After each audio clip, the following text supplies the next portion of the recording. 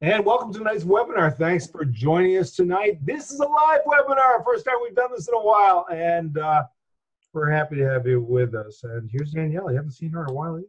Yes, I'm here. I'm really here. Yes, is. Yeah. So tonight is a, a special webinar, and uh, we've been uh, promoting this for a good reason. You know, a lot of us are seeing patients, and we're saying, all right, how do we explain it? How do we get there? What do we do in order to be able to make the patient understand what's going on. Well, part of that is uh, for the patient to actually uh, learn what's going on, for the patient to make those decisions uh, based on education. Education we can provide, and there's special ways of, of, of providing that education. And Dr. Brian Vence, who's our guest, along with Lynn Turk, his office manager and treatment coordinator, are here with you uh, to be able to uh, show us exactly what they do, how they develop a case, and how we might be able to learn to develop our cases um, as a result of, um, of, of, of, their teaching. Um, uh, Brian and, uh, and Lynn are in practice in Oak Brook Terrace, uh, Illinois. That's near the suburb of Chicago. Uh, and they practice, uh, um, they're right upstairs from George Mandelaris. Many of you know George. So um, with that, um, I introduce to you Dr. Brian Vence and Lynn Turk. Welcome. All right. Well, thanks, Lee. Uh, I'm going to go ahead and share my screen here. I'm going to kind of figure all this stuff out. So I assume right now I'm sharing the screen and all you're seeing is that one slide. Is that correct? Uh, we are seeing the one slide with the index with, with the thumbnails on the left side. Okay, I got to go into play mode then here. So now it's that way. You just got you have the one slide, correct? You got it. Okay, great. So our, our talk today is going to be about co-discovery and co-diagnosis, the key to complex treatment plan acceptance.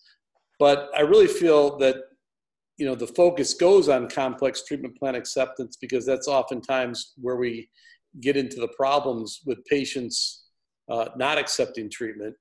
But in fact, it's really kind of about for me, how to get patients on board with having sustainable oral health for a lifetime and hopefully not even getting into the complex treatment plan situation. So, the co diagnosis process is what we're trying to uh, come up with with our patients, but really it's the co discovery of the problems that they really articulate to us in our uh, new patient consultation when they come in asking for help. So, like Lee was saying, that we and Danielle were in Oak Brook Terrace, Illinois, and it's a suburb of uh, Chicago, about 30 miles uh, straight west of Chicago. If you need to get a hold of us for any reason, Vence Dentistry at vencedds.com is our email. So my practice uh, organization is really around these five different areas. Planning, which is to me the most important component, preventative, restorative, replacement, and wellness. So the planning part is the co-discovery, uh, you know, kind of finding out what patients are, you know, what what's what is, are their issues with their oral health. Um, you know, trying to develop a plan of how they want to treat that.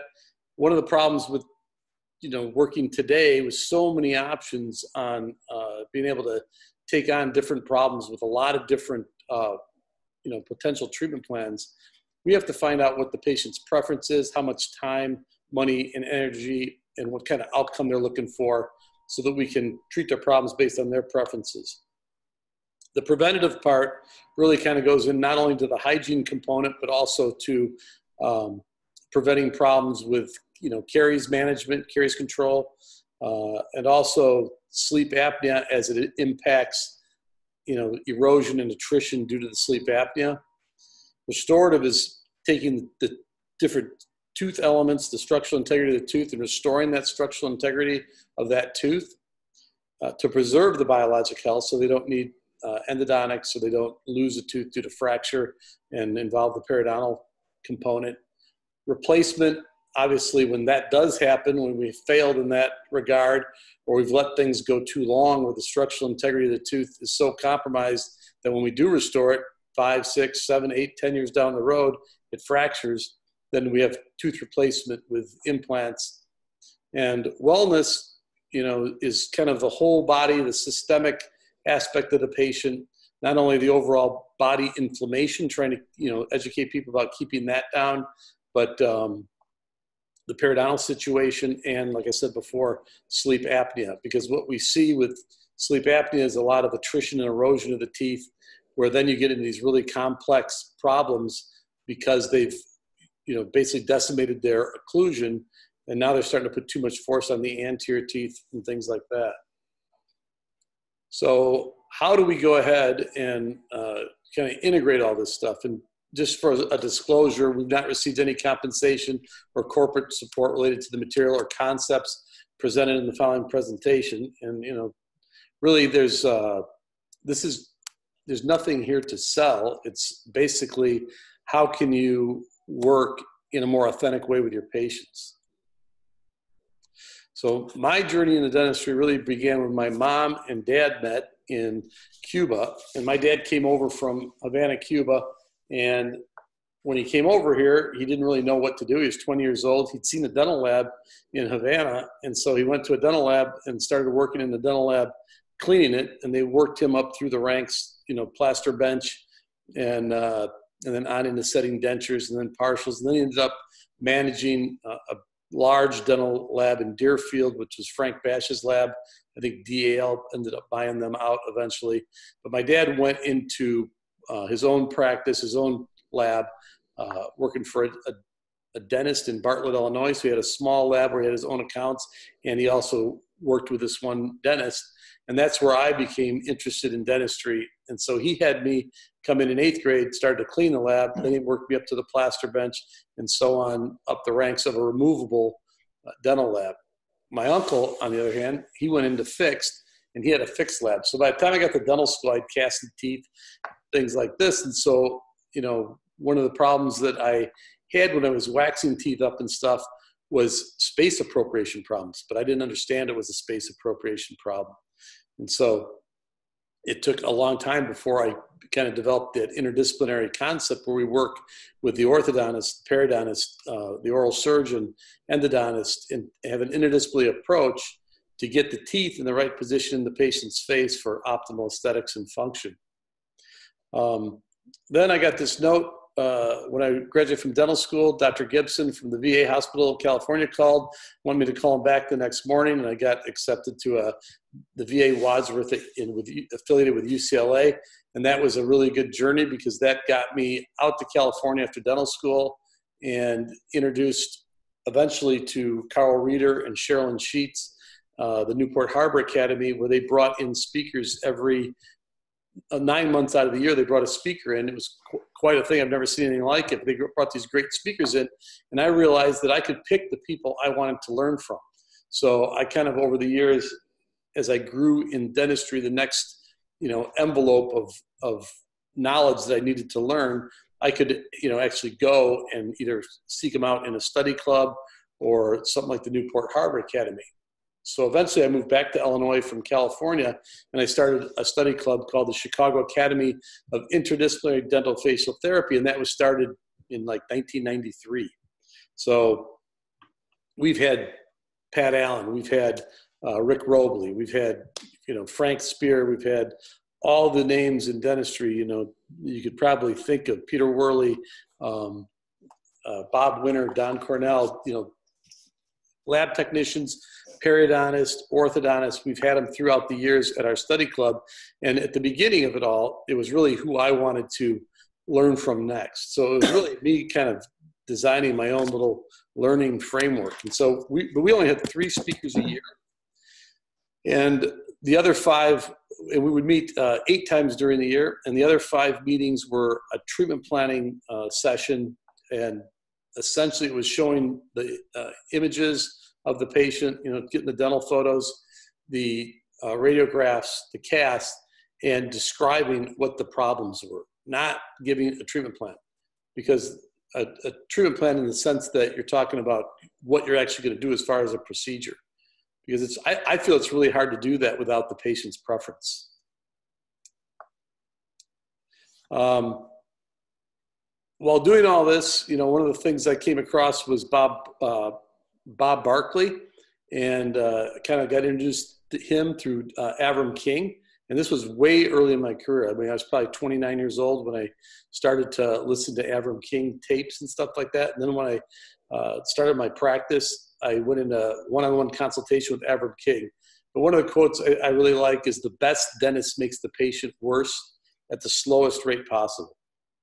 And so my mantra for my practice is that we try to do the least amount of restorative dentistry needed to meet the aesthetic and functional needs of the patient, restore the structural integrity of the tooth to preserve the biologic health, and to offer the treatment based on the patient's preferences to reduce risk so they can have sustainable oral health for a lifetime.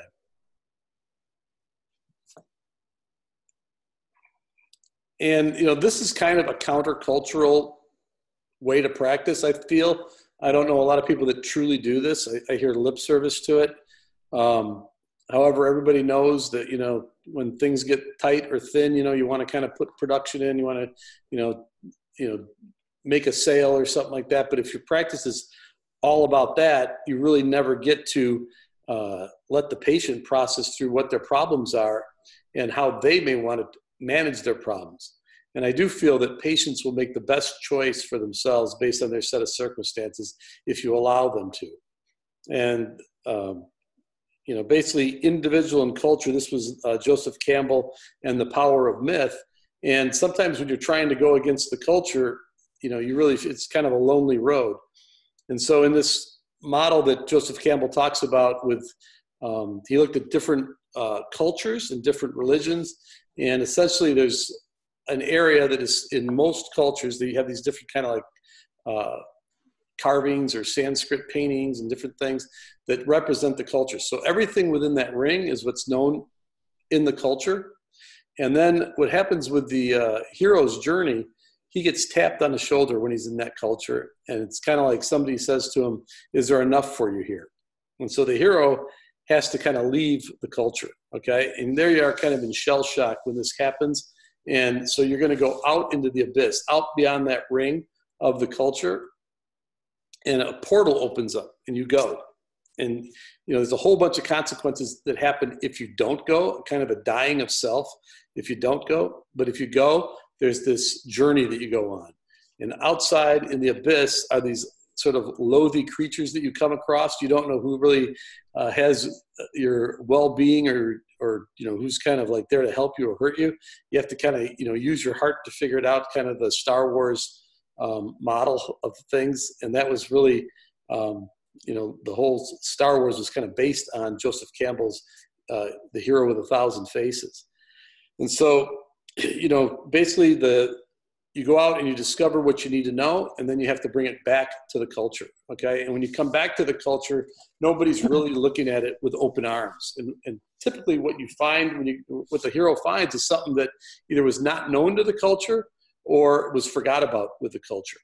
And i think that you know in dentistry i think kind of especially with all the technological aspects so much tech technological hype okay that's out there we forget about the human element and we forget about the the uh, the dentist processing this information. If you have trained yourself, you know, and we're kind of like you know in a way self-programming cytoplasmic robots taking information in, and if you've done it, you know, with integrity from the very beginning, it becomes a habit. And um, you know, I don't know that artificial intelligence can really do that the way people can. And I think that you know when you come back into the culture to try to practice dentistry authentically and not hype a technology or not hype you know this next consultant's way of making a buck or you know how many procedures can I do, but really try to help the patient understand based on what you know uh, how they can maintain their oral health and manage it for a lifetime. So you know, for me, trying to do that has really been kind of the way to follow my bliss in the profession, even though, you know, it may not, there may be more profitable ways or more, you know, lucrative ways to practice, you know, helping people get oral health and, and, and get what they want so they can manage it for their lifetime is really kind of what fulfills me. So, for example, if someone has some crowding with their teeth and they're in their 20s or you know, even 30s, and their teeth are relatively healthy, but just have a little bit of wear and things like this, I would much rather see that patient go through some orthodontics, get things in the proper position, set things up correctly for the rest of their life, you know, as far as gingival levels, gingival architecture, that kind of display of the teeth, and then also the function to distribute force in the teeth uh, favorably. Maybe bleach the teeth and just do a little bit of bonding rather than try to put veneers on crooked teeth that make the tooth contours look too narrow and maybe too long and narrow. And now you've got some major dentistry that you have to maintain the rest of your life. And everybody knows that the dentistry is not going to last the rest of their life. But it, you know, I feel like if you can get it to last 30 years, that's that's a pretty good goal. And I feel if things are in the right position with the right spa- space appropriation and done with proper labs and things like that, I think that's not an unrealistic goal. So every uh, summer in Chicago, there was the uh, um, uh, Grateful Dead, and the Grateful Dead were also kind of, they would come every 4th of July to Chicago, and they had met uh, Joseph Campbell, and their whole thing was kind of also the whole follow your bliss type of thing. and so, um, you know, this is kind of a lonely road, a path that, you know, not everybody has, you know, traveled. And so I believe that you know this kind of practice can be a little bit intimidating a little bit a little bit scary to allow the patient to leave the office and process information you have talked about in not only the new patient exam but or the new patient consultation but new patient examination and then when we've reviewed the diagnostic uh, findings. But i feel like it's kind of like filling a pipeline and things will drop out the other side. You just don't know when and you can't control it. And so that part of not being able to control things, I think, is what makes people, you know, sort of run scared and not do it. Meaning dentist. Once you start doing it, though, I believe there comes a certain point where there's no return, you know, and this point has to be reached. So this is a picture of me skydiving years ago, and um, you know, it's kind of like jumping out of the the uh, the the door of the plane when you're skydiving. You know, once you jumped out, you know, there's nothing to do but do the skydiving and, and, and pull the chute. You know, you gotta, you gotta perform. And until one co- is committed, there's hesitancy, the chance to draw back. So it really has to be kind of a personal commitment that I don't want to practice like insurance-based practice. You know, I don't want to practice corporate dental. I want to practice where I actually have a relationship with the patient, where I help them. You know, and they have to also be committed to wanting to have oral health and I think the best you know the best approach with patients um, trying to have that kind of oral health for a lifetime is to really say you know what's the least I can do to give this patient you know the aesthetics, the function, uh, restore the structure, integrity, improve the biologic health. What's the, the least amount that I have to do to attain that for this particular patient? And that has to do then with the spirit of your practice. This was a drawing we actually did about our practice. What was important to our practice? We did this uh, with a consultant named Alt Brower who had worked with Avrom King for a long time. And when Avrom died, he was doing dental consulting. But you know, for us in my practice, learning is a uh, important aspect. So every bit of these little tentacles coming off of this uh, sun or whatever fireball, um, you know, we want to have joy. We want excellence we want a sacred space when we're working with a patient. You know, we want that sacred space where people aren't interrupting you and everything else. It's just about helping that patient uh, attain health, uh, trust, you know, service. There's all these different aspects. We want to be profitable, of course, you know, but all these aspects are important to me in the practice. And the people that are around me need to have that or there's not uh, any kind of integrity in the office you know it ends up becoming dissidence if someone's got a different sort of uh, mindset. Okay so my job uh, my position with dr. Vence is um, i'm the treatment coordinator basically and it is the best job in the world. I love it. I uh, i was a hygienist and still am for 40 years and I just in the last five or six years moved into this role. And basically, co discovery, co diagnosis becomes a culture. It becomes a culture in the office, it's a culture that um, you become immersed in. Um, it's such a valuable tool. It's a tool that I use with my family, with my children, with your comings and goings with other people. And I think at the end of this seminar, you'll see why. I mean, basically, um, with co-discovery you're opening the door to all possibilities.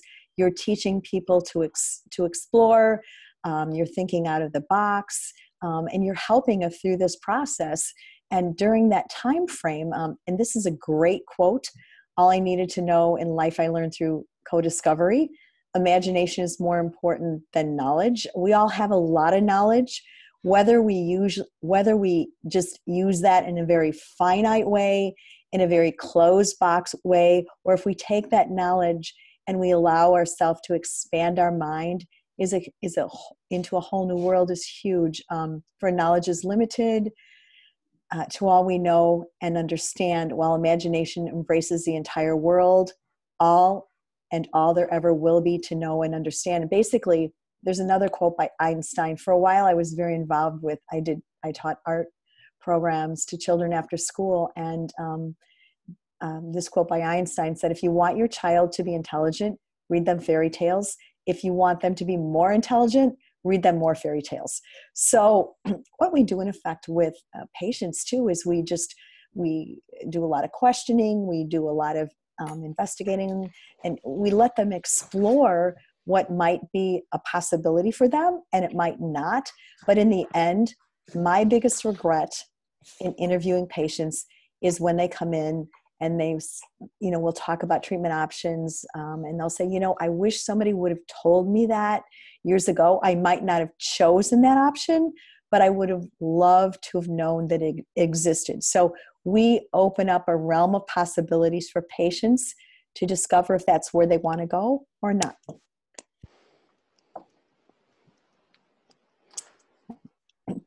um, pathway to essential meaningful treatment.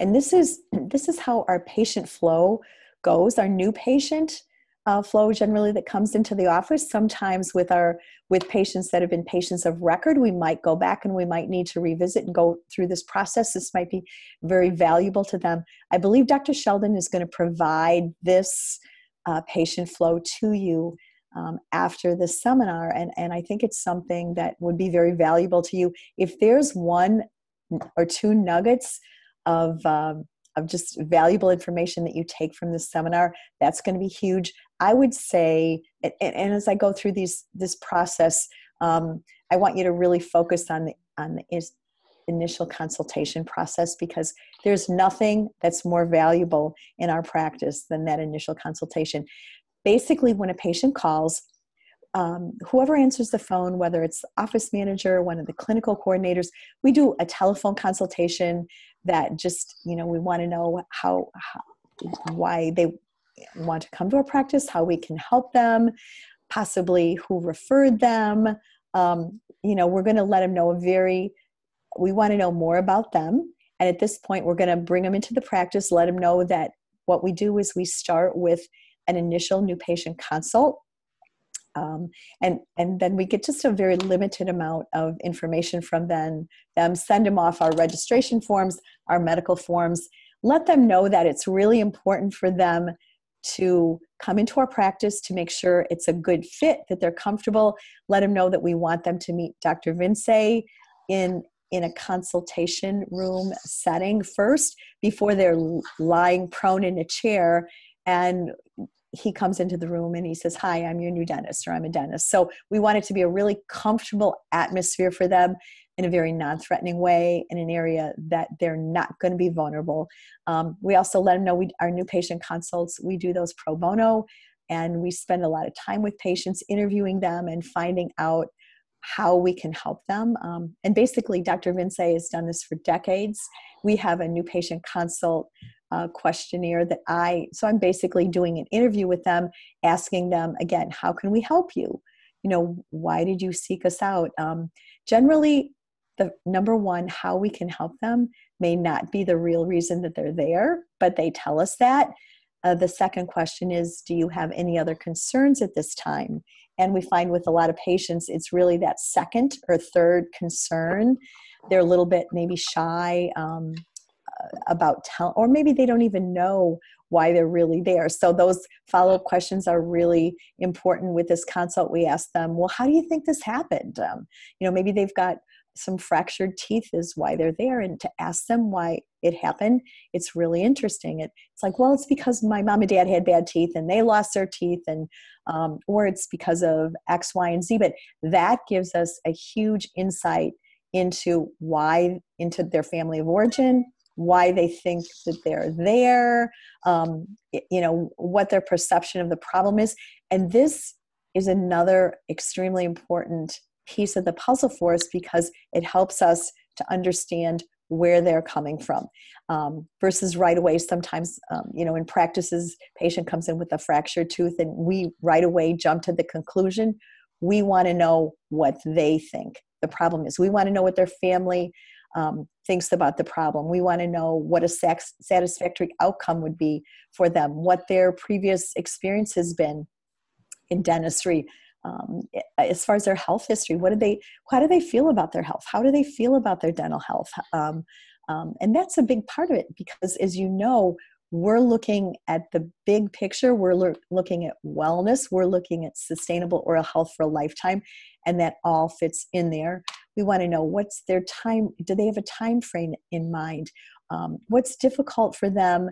What would stop them from seeking treatment? In one case one interview i did it was a, a young young corporate um, gal and she'd been away from dentistry for 10 years. She was from oklahoma.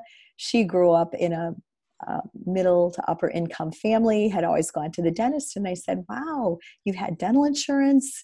Um, she was was married had a had a young child now and i said well what kept you away it wasn't the means and she said you know when i went to the dentist when i went to the hygienist when i had my cleanings i always felt shamed about not flossing. And she said, believe it or not, that was part of the reason I just I just really hated going to the dentist. So I mean just that little piece of information that shaming and I think there were some other things that were going on too but that was a huge piece of the puzzle that came out through our initial consultation.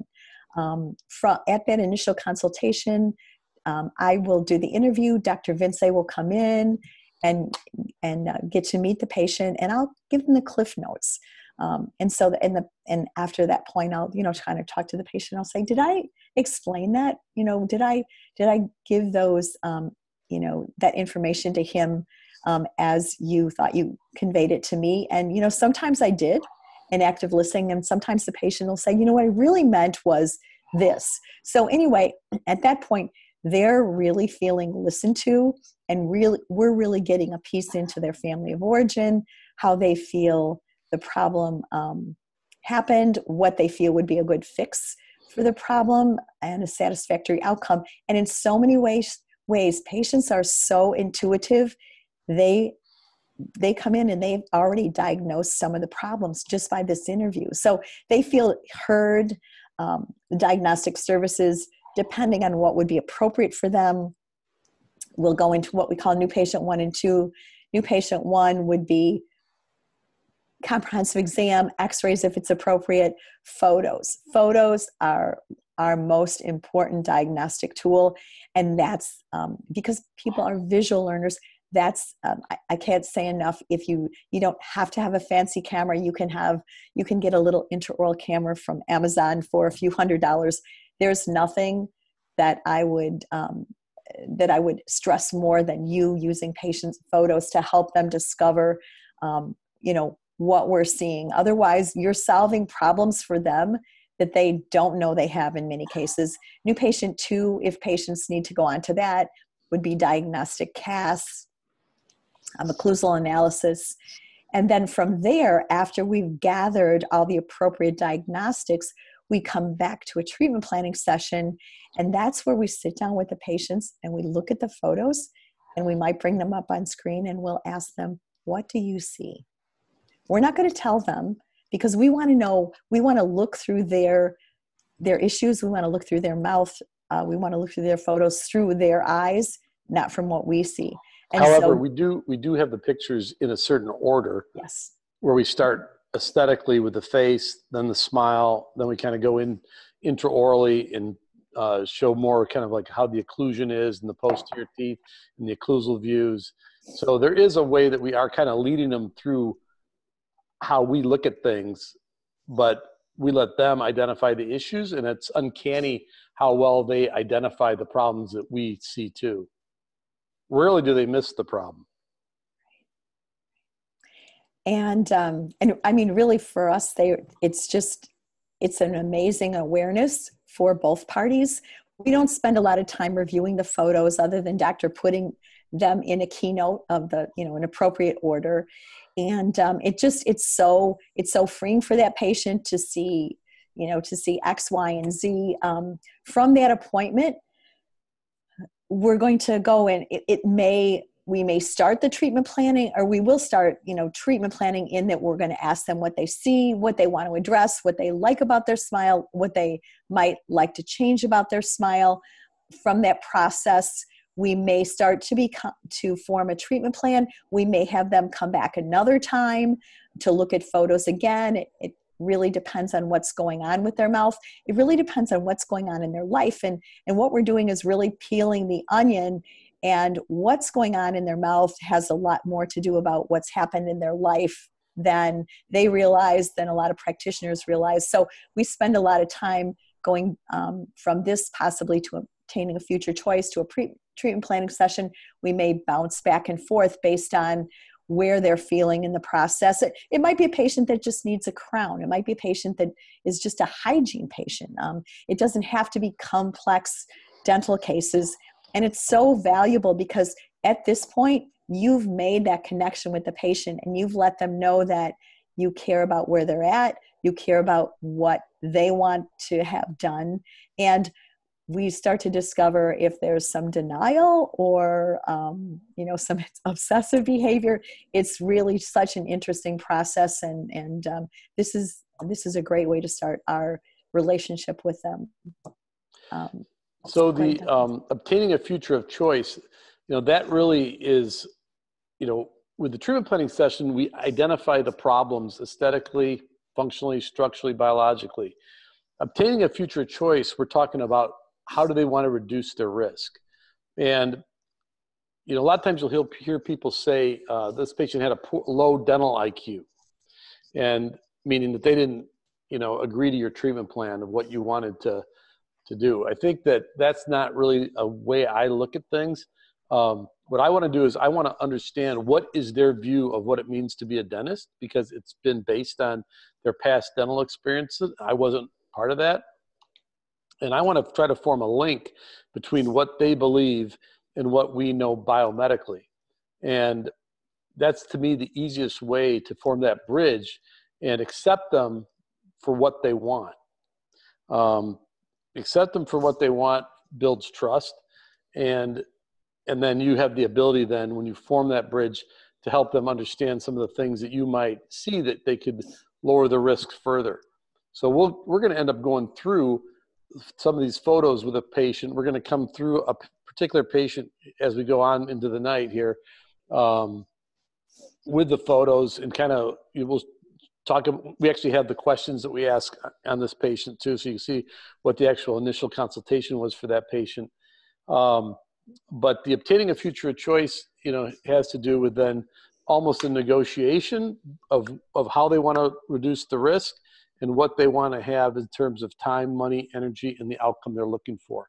And this to me is really where we set uh, realistic and unrealistic expectations. You know, sometimes I just have to tell a patient, you know, that, you know, that's just an unrealistic expectation. You know, you, uh, I had a patient that had, uh, was going to have a four unit bridge uh, from another dentist from uh, seven to 10, missing the two central incisors.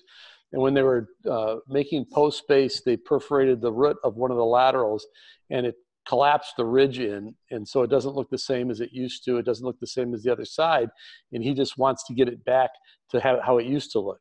And I thought if I took the hook on that one, I would be in a lot of trouble through this case. So it, it had to come to the point where I said, I think that that's just an unrealistic expectation. We will make it look as best we can, but unfortunately, you have a loss that you may not get back.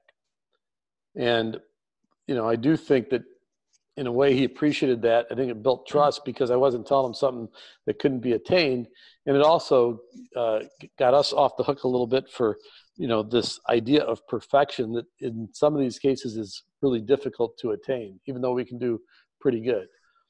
So then the action plan, like Lynn was saying, ends up you know laying out the phases of treatment. So we're going to go on to a patient um, in a little bit here, and we'll talk about that, but. Um, I think that uh, Lynn's got a little bit more to say about some of these tools of communication. Okay.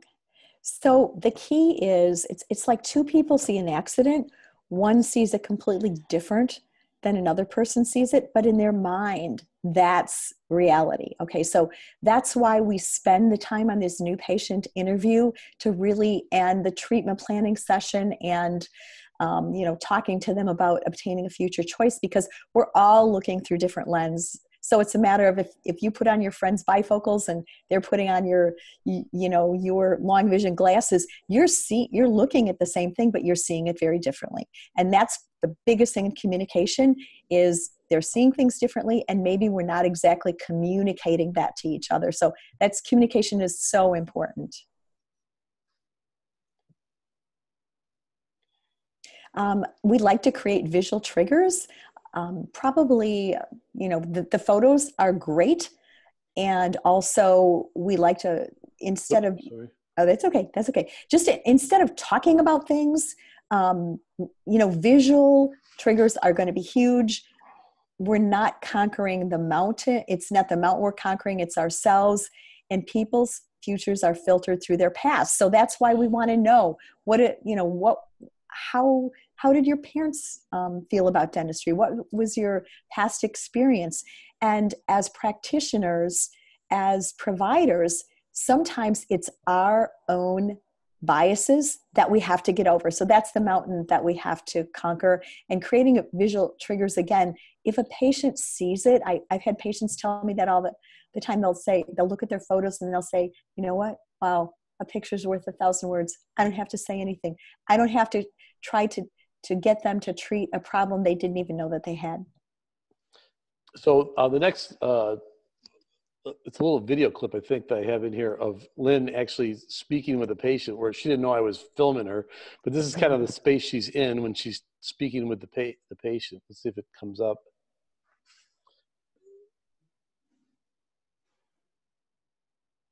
So she's talking about the, um, you know, just kind of the act of listening, and then you see her head turn right there when she sees that I'm videotaping her. Oh. it's like, huh. But uh, that's the kind of the space she's in doing it. So the tools for communication, again, when we're asking them, how can we help you? What problem are we really solving? You know, wh- why are they going to be doing dentistry? It's really important. When you're when you're talking with a patient, be simple and engaging. Research has shown if you use one technical term, and we do this all the time. We talk about the maxillary arch, we talk about the mandibular arch, um, you know, maxillary upper, or mandibular lower.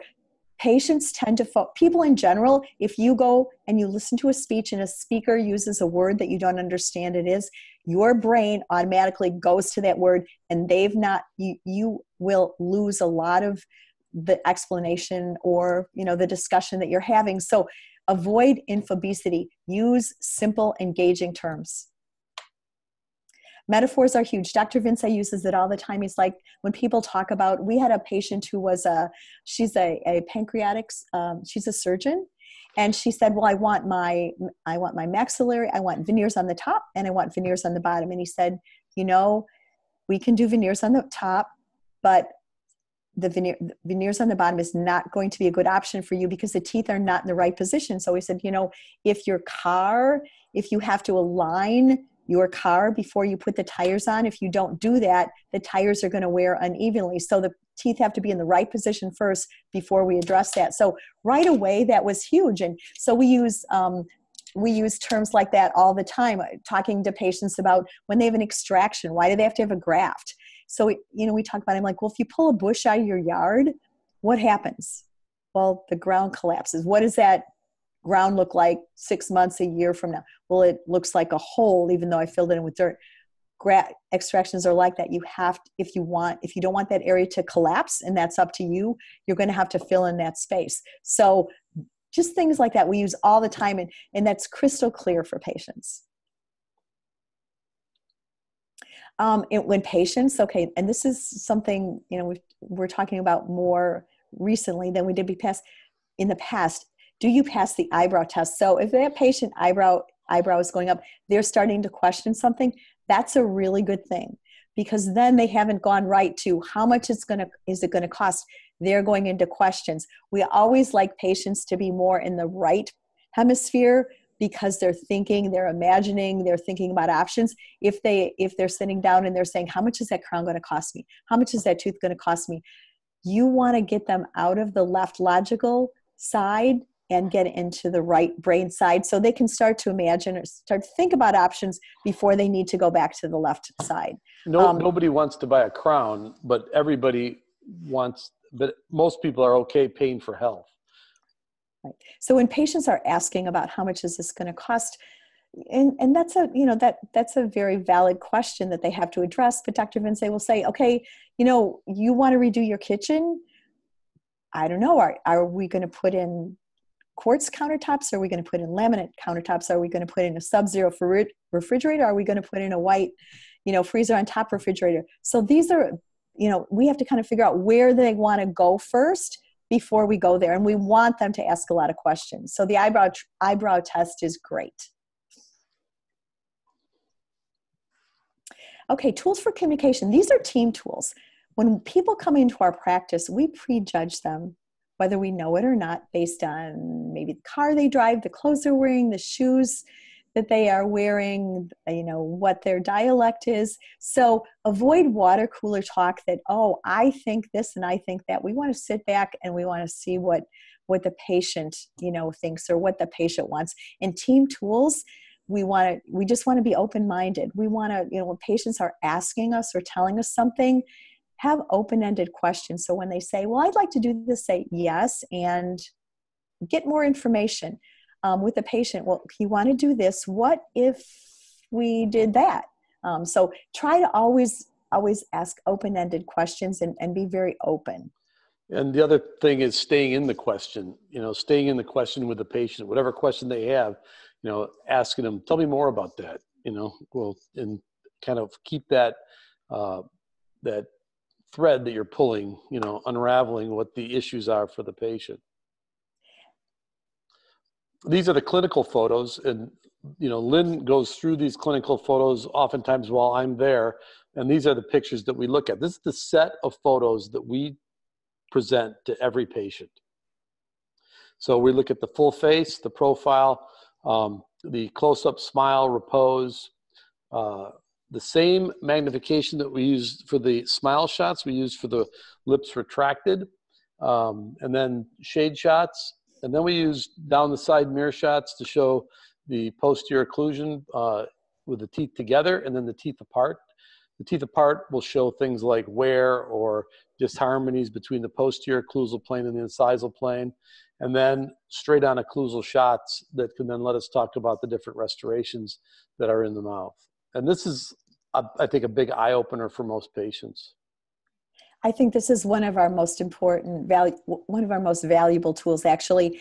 And um, what i will do too is certain pictures that it's it's going to be very helpful for them. I always i always tell them i'm like you know why don't you take some home and why don't you brew on this? You know come up with some questions come back and see us and i will send home you know if there's a shot that's appropriate or that's very um, enlightening for them, I will print it off and I will send it home with them. And it is huge. Or sometimes I'll send a thumb drive home because it's their diagnostics, especially if they, they're things that they want to talk over with their families. Um, that I think this is just a great tool for them. Yeah, and we also invite significant others to come, uh, you know, either to the treatment planning session or the obtaining a future of choice. Obtaining a future of choice is a really a good one to have the significant other come in after they have after the patient has seen some of the diagnostic issues the first appointment we can then re you know kind of recap that with the significant other and the patient again so that they can help as a sounding board to help that patient decide what they want for themselves. And they can also realize that we're not just trying to sell them dentistry, we're trying to help them determine how they want to progress to maintain their oral health for their lifetime. And in so many cases with those patients too, we'll sit back and say, well, what about this? What sometimes they'll diagnose more things than we think are actually there. But um, yeah, it's great. Uh, tools for communication. You know, here's the thing. When we've done some lectures in the past, dentists will come up to Dr. Vence and say, you know what, I just don't have these type of complex cases. Well, we do everything from soup to nuts.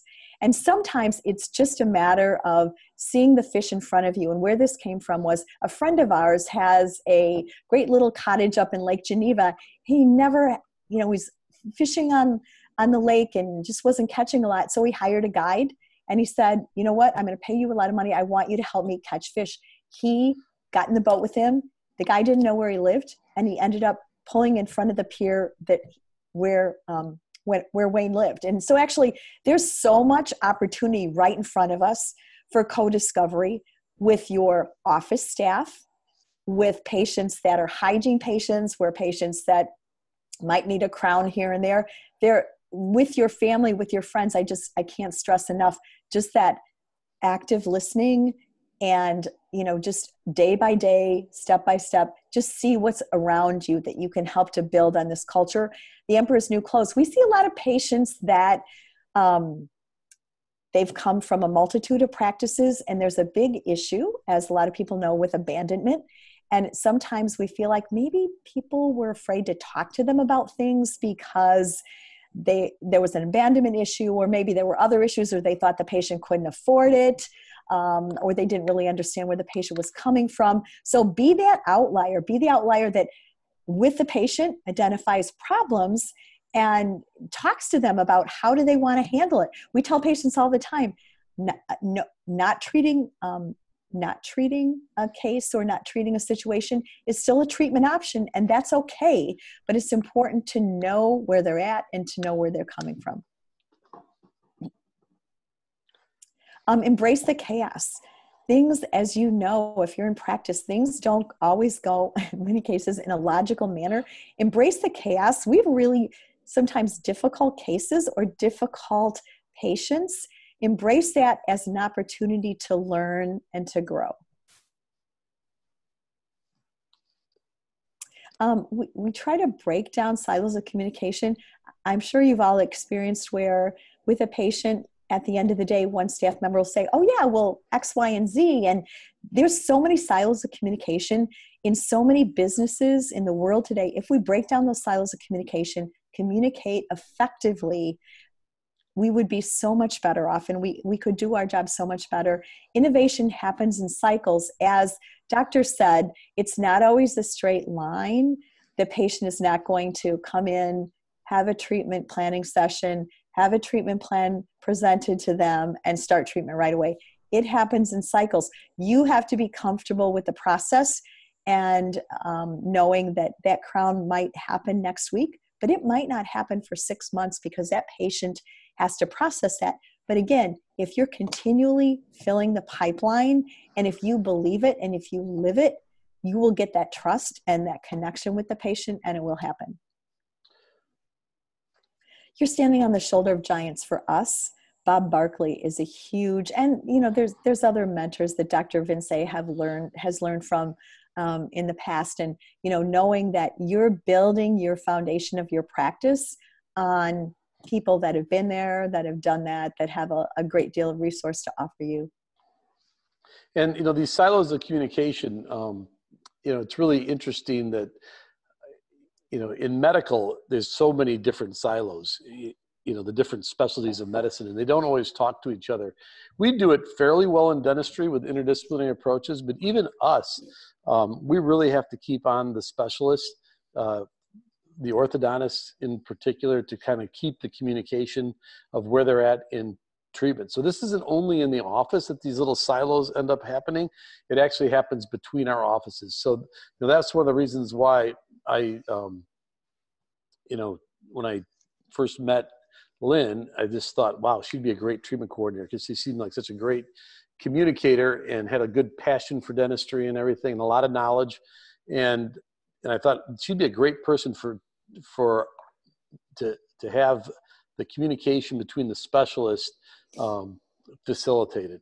And sometimes it's hard. I mean, sometimes the, the the different offices just you know they just aren't used to communicating with other offices. They get in their own little world, they do their thing, and then when they're done. Um, they will send them back the done, but there's not been communication leading up to that. And so, you know, the more we can communicate between our specialty offices, um, the more we might be able to anticipate. Okay, this patient's going to be finishing ortho, or or you know, in in six weeks, and then they're going to be ready for some transitional restorations. Or this patient's going to be having an implant placed, and you know, and that could have been done before the end of ortho if there was enough space for an implant and so that when the uh, ortho was finished, they didn't have to wait another three months to have the implant healed. That could have been coupled together. So the more we can communicate, the more we can shorten treatment times for patients where it doesn't compromise care, just lets things overlap in a logical way. And that's really important because when we start this process with patients, there is a, uh, we kind of build emotional currency. It's kind of like filling the bank up with, you know, excitement and you know some you know and we want to fill it up with realistic expectations because if it's unrealistic expectation that depletes the emotional currency so we want to fill that bank up with realistic expectations of what's going to happen in treatment but if things drag out that emotional currency gets depleted by the time they get around to me to start the restorative they may be sick of treatment so communicating try to like leverage the treatment so we can shorten treatment times um, is extremely important in having a successful experience for that patient. Because the, the, the, successful experience is not just the outcome we get at the end, it's how they felt about getting to that outcome. I think the other aspect of that, and you made a good point, is com- with the communication. So basically, I'm a treatment coordinator, and I'm lucky enough that's primarily my sole responsibility or my sole function. But it can be anybody. It can be your office manager, your hygienist, your assistant. But when we give a referral card to a patient from the endodontist, we have great periodontists right downstairs from us. I will, I'm like, hey, come on in the consult room. Can I call for you? And for some people, the reason treatment doesn't go forward is because they hate calling. Um, my husband is an IT. Calling someone for a doctor's appointment is the toughest job he does all day long. So I will gladly facilitate the appointment. I will help them out. I will make the appointment. Some people, you know, necessarily don't want to do that, but if I, as a case concierge, I tell them, I'm like, I'm an advocate for you, and you let me know if you're having a problem with this or if you have a concern with this. And that's one thing also. If you're working with specialists, I mean, even somebody just a tooth that just needs to have a tooth evaluated for endodontic therapy, if you can call for them, they know that you're behind them, that you care about the, their health and their dentistry. So I, we're a huge, Dr. Vence is a huge advocate of let's take care of this today. Let's help them with the appointment or help them in any way we can. And there again, that's a communication factor. When you call that specialist, they know that it's important and they'll probably get that patient in in a more timely manner as well. And then, you know, the, the communication also can be a positive synergistic thing as well when it's done correctly. Um, you know, I can't tell you how many times, you know, working with Alan Rosenfeld over the years that we've sat down with patients after we've gathered the diagnostic information and we kind of are at that obtaining a future of choice, we may have an IDT consultation with the specialist, and and then the synergy that happens between specialists advocating for each other and for that patient um, really kind of you know builds authentic trust because it's not made up stuff. We've had an experience working with each other, and you know, I mean, I have the utmost respect for Alan and George Mandelaris and Brad DeGroot, the periodontists I work with, and um, you know, so I can say, hey, these guys are the best it gets, you know, and and and mean it. So this is something for me, just awareness, awareness of what's going on with the patient you know, again, with Dr. Vence, I mentioned the one patient that had unrealistic expectations to just kind of sit back and say, I kind of see this could be an issue. We really need to talk about this. Um, we have a lot of knowledge, but we, we're not always wise about our knowledge. So, um, and again, citing that patient who had been shamed by the hygienist, you know, it's like, okay, I, I see this an issue. I'm going to go talk to the hygienist and let him know this is a, a big vulnerable area for that patient. Sometimes it's the courage to do something that we need to do again you know, in letting a patient know this is the situation, this, you know, let's sit down, let's talk about it, let's look at this together. And sometimes it takes a great deal of courage because that can become an abandonment issue.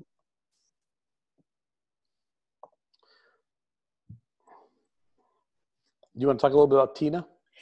Yeah, Tina was a, a patient that was, um, through circumstances in her life, had virtually um, become a recluse, and she just uh, had become a dental handicap, and and uh, she got to the point that she was. Um, it, it had really become an emotional thing, and it was controlling her life. Her her sister, I think, had had uh, passed away. Um, I think it was an accident or something. Her and she- sister was a was a like a, like an like an adventure mountain climber that would take people up mo- climbing mountains and things like that.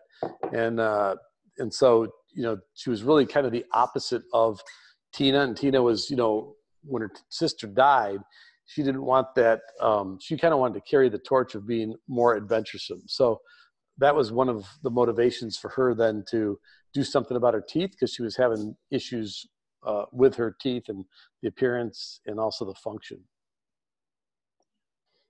so, she's yeah she she ended up she ended up you can see this is uh, Alan Rosenfeld watching George and and uh, they're in there doing the uh, uh, placement of implants and things like this. So this is a nice little surgery center that they have downstairs of us.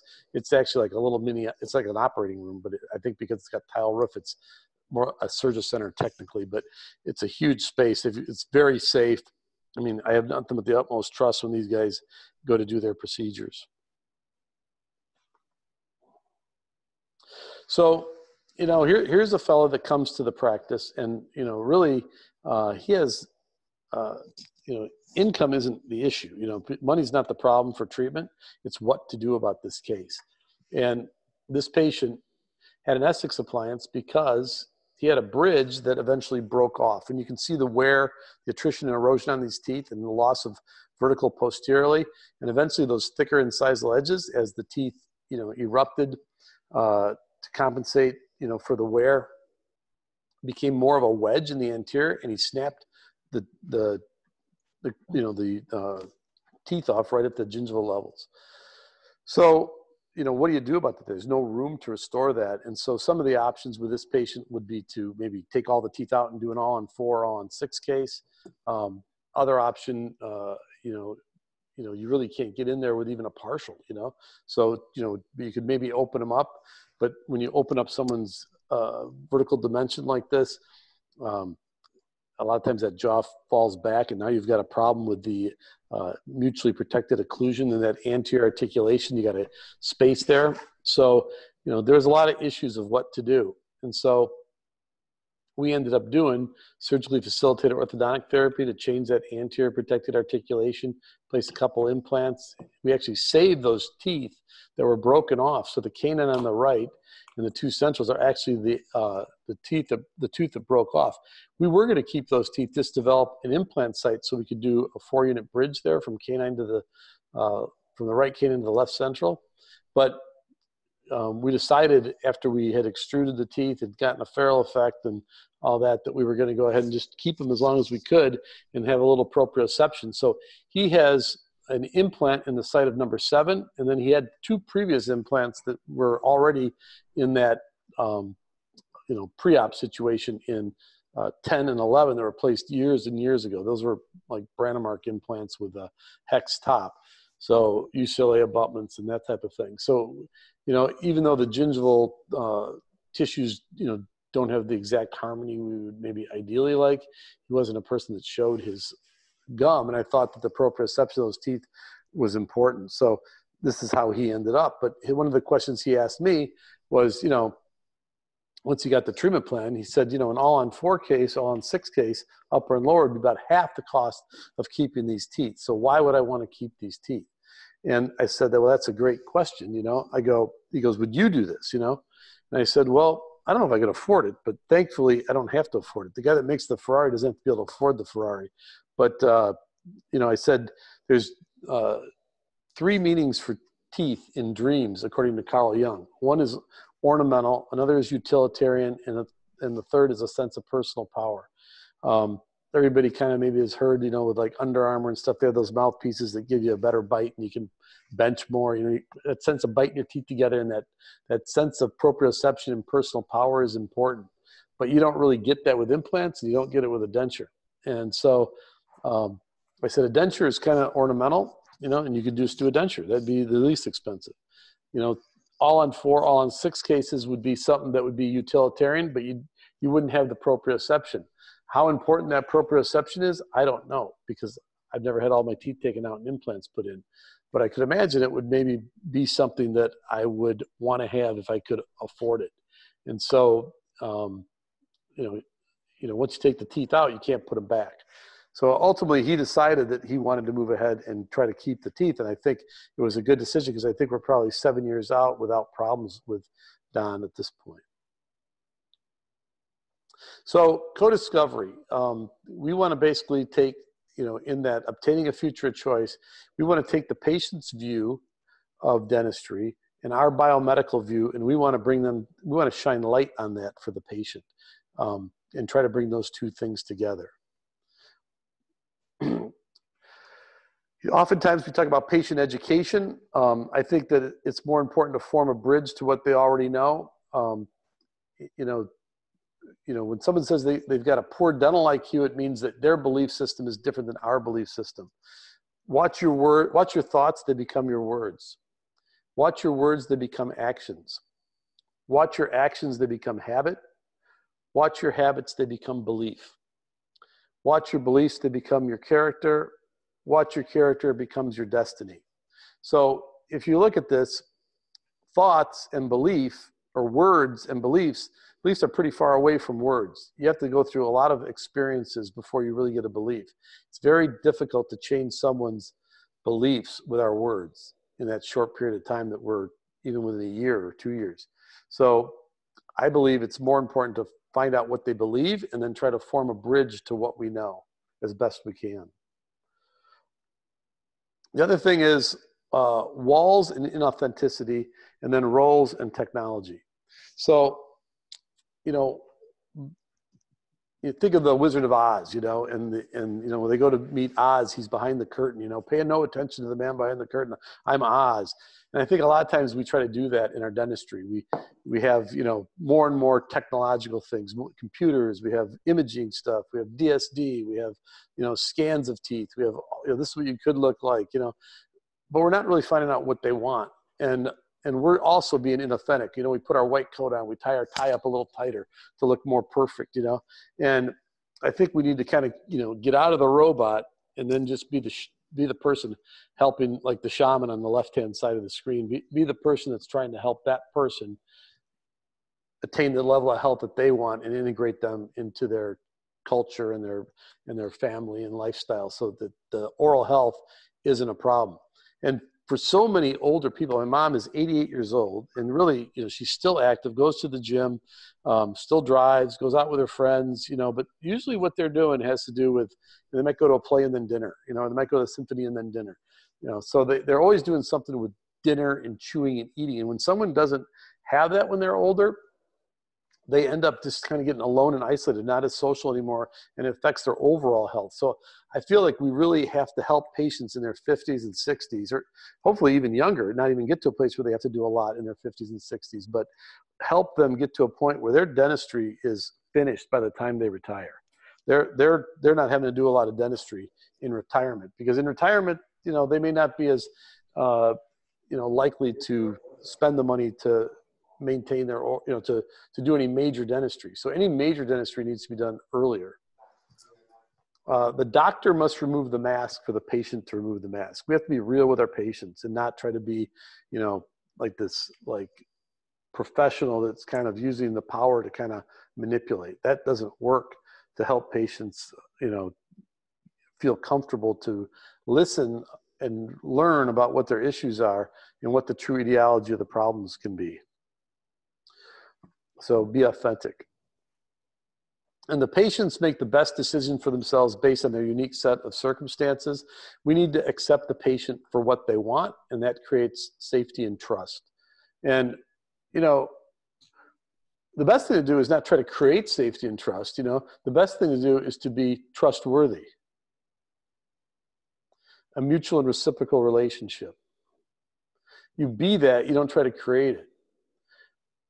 And you don't have to treat the patient. You know, you can accept somebody for what they want, and you can say, "I understand what you want. I don't know if I could be successful doing that." Um, you know, so you know, part friends.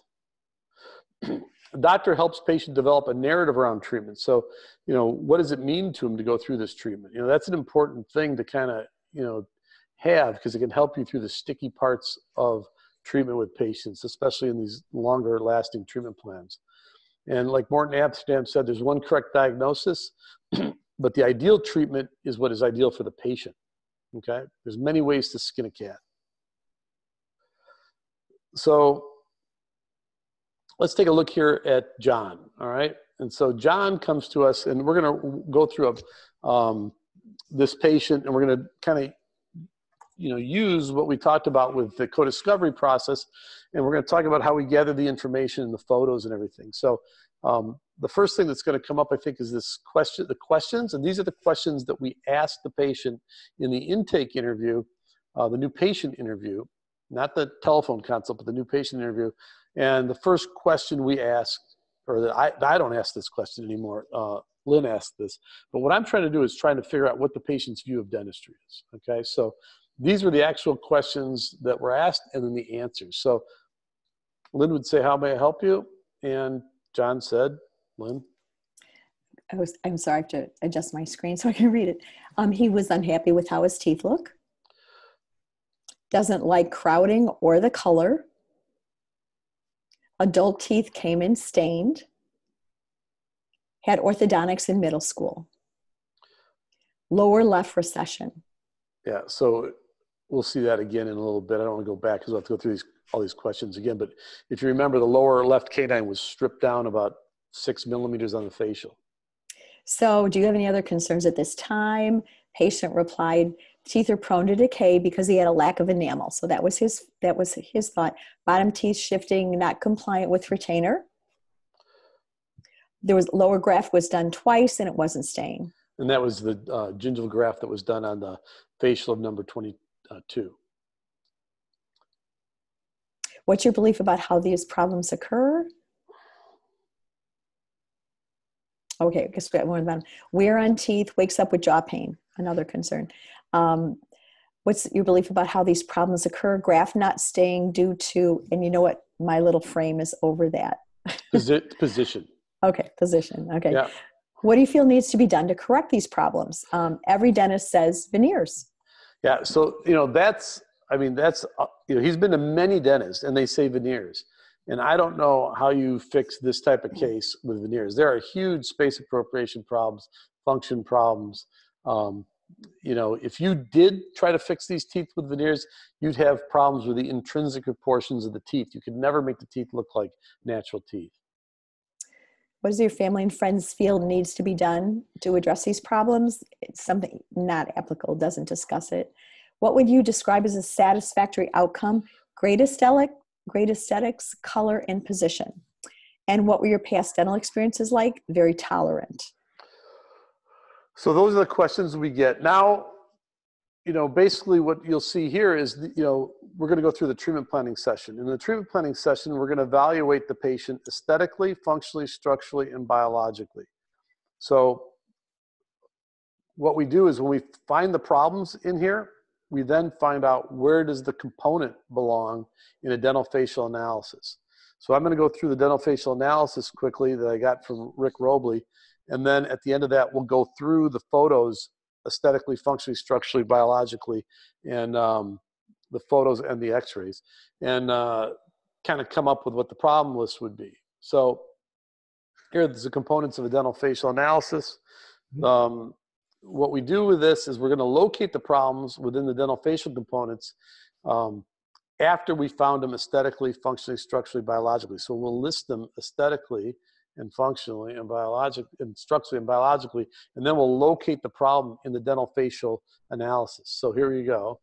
This will help us determine who's going to be on the IDT team. So dental, has to do with a tooth problem. Okay, you've got where Periodontal is basically the, where the dental gingival complex is. Okay, you know when you have disease and things like that, you know everything apical to the dental gingival complex is healthy. Everything coronal, you know, around the dental gingival complex may be diseased. But then you also have situations where you have maybe altered active or altered passive eruption and, and things like this. You have to sort out is the dental gingival complex in the correct, you know, position on the tooth and how are you going to manage that, whether it was from disease or whether it was from altered uh, active eruption. But you know, we need to have that dental gingival complex frame our tooths so that we have the right length and width of what that tooth should be. Then you can have alveolar problems, you know, cleft uh, palate, which would then affect all the soft tissues and maybe even the tooth. Um, then dental alveolar problems. This is very common with patients that have got orthodontic issues um, and airway issues. But this is where you have deficiencies in dental alveolar bone.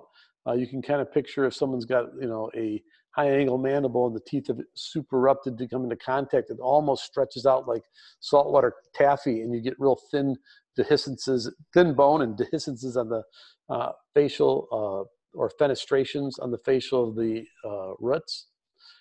And then alveoskeletal issues where maybe the whole dental alveolar bone is really not in the correct position over the basal bone, or the whole segment of dental alveoskeletal uh, bone could stand to be repositioned over the basal bone. And then finally, uh, skeletal issues where you actually have a true skeletal, you know, uh, relationship that's off. Either jaw to face, which would be the upper jaw to the face, or jaw to jaw relationship. And that involves orthognathic. There's like four components that we think about with that jaw to face, jaw to jaw, um, tooth to jaw, are the teeth in the right position within the jaw, and then tooth to tooth, do the teeth come together and articulate properly with the proper occlusion. And the occlusion I'm looking for is a fully, you know, fully seated condylar position. I'm looking for bilateral simultaneous posterior tooth contact in the centric arc of closure. I want to have an anterior protected articulation where the front teeth protect the back teeth from horizontal wear and load, and the back teeth protect the front teeth from vertical overload. And you know, how can we attain that? And then TMJ, we want to know the position and condition of these teeth. I mean, of this of this joint, to see if that's going to affect our occlusion and how those come together. Um, airway issues that could also affect uh, the occlusion. Um, and soft tissue, the overall soft tissue drape. And so if you look at this, you know, if someone's got a dental problem, that's the restorative dentist or prosthodontist. Someone's got a problem with the dental gingival complex, that's the periodontist.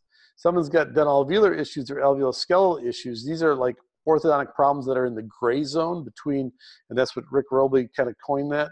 They're, problems that are between traditional orthodontics and orthognathic surgery, where you have issues with, you know, dental alveolar compensations and things like this because of maybe a skeletal mismatch or a slight skeletal mismatch.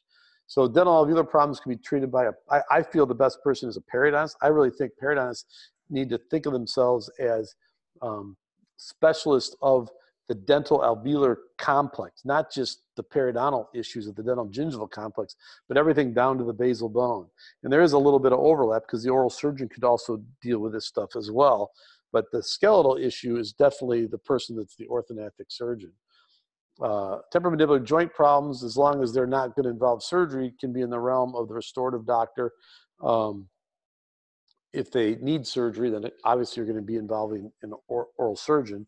Um, airway, airway can involve a lot of different people. Could be ENT, could be sleep specialist, um, could be uh, you know someone who's making a oral appliance, someone who's giving them CPAP. And then soft tissue drape, that's oral surgeons, but you know, probably plastics is most common.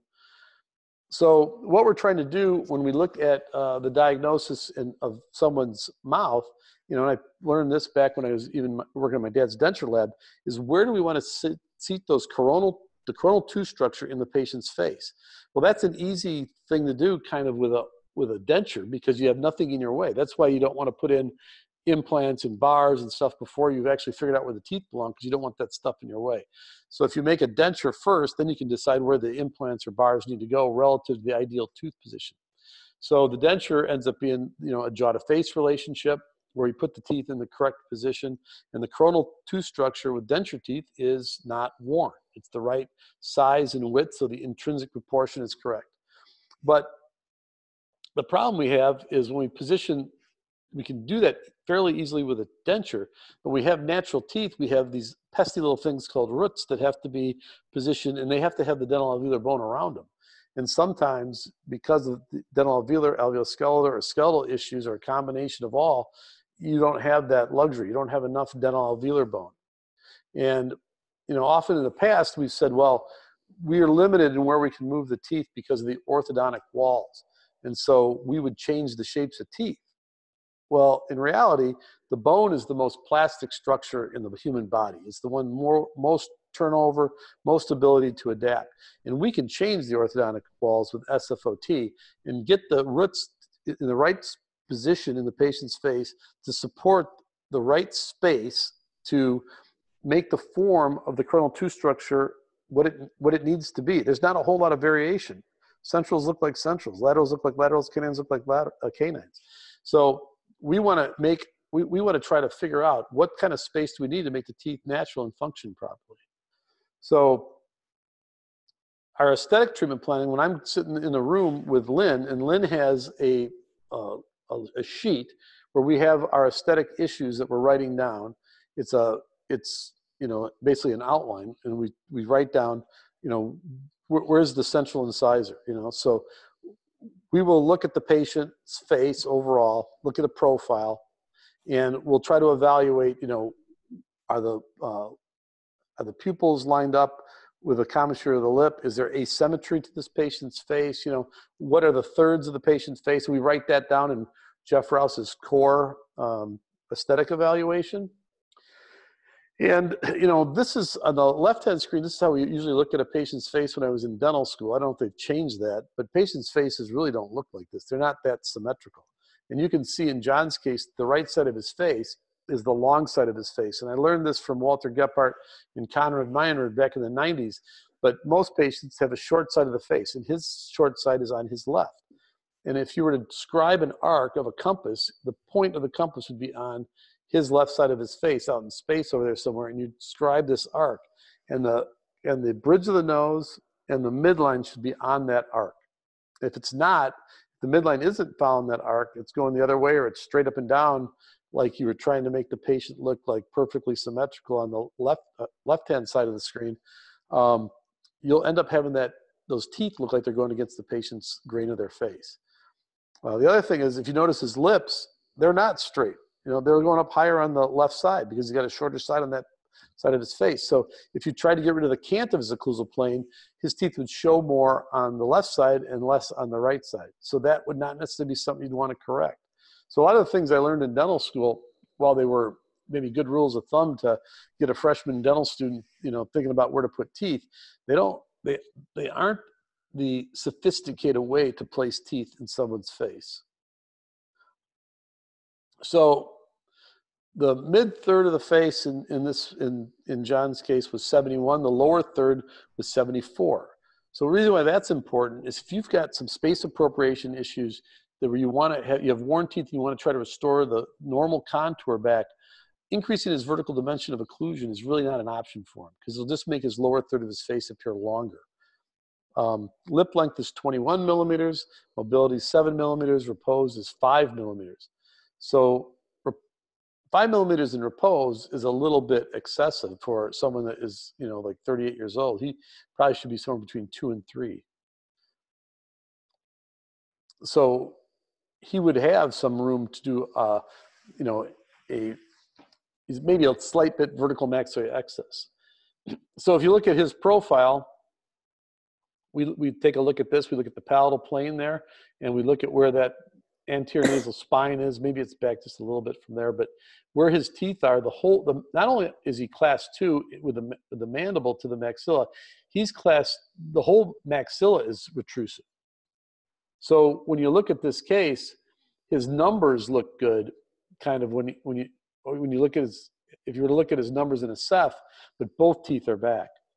And then we look at the radiographs, and he's you know obviously heavily, heavily restored.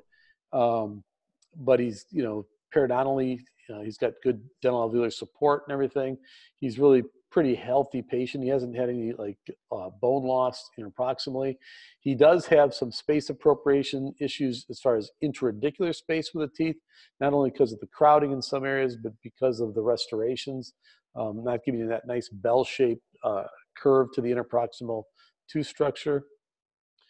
Um, the temporomandibular joints are robust. He doesn't have any TMJ issues. We go through all that type of thing.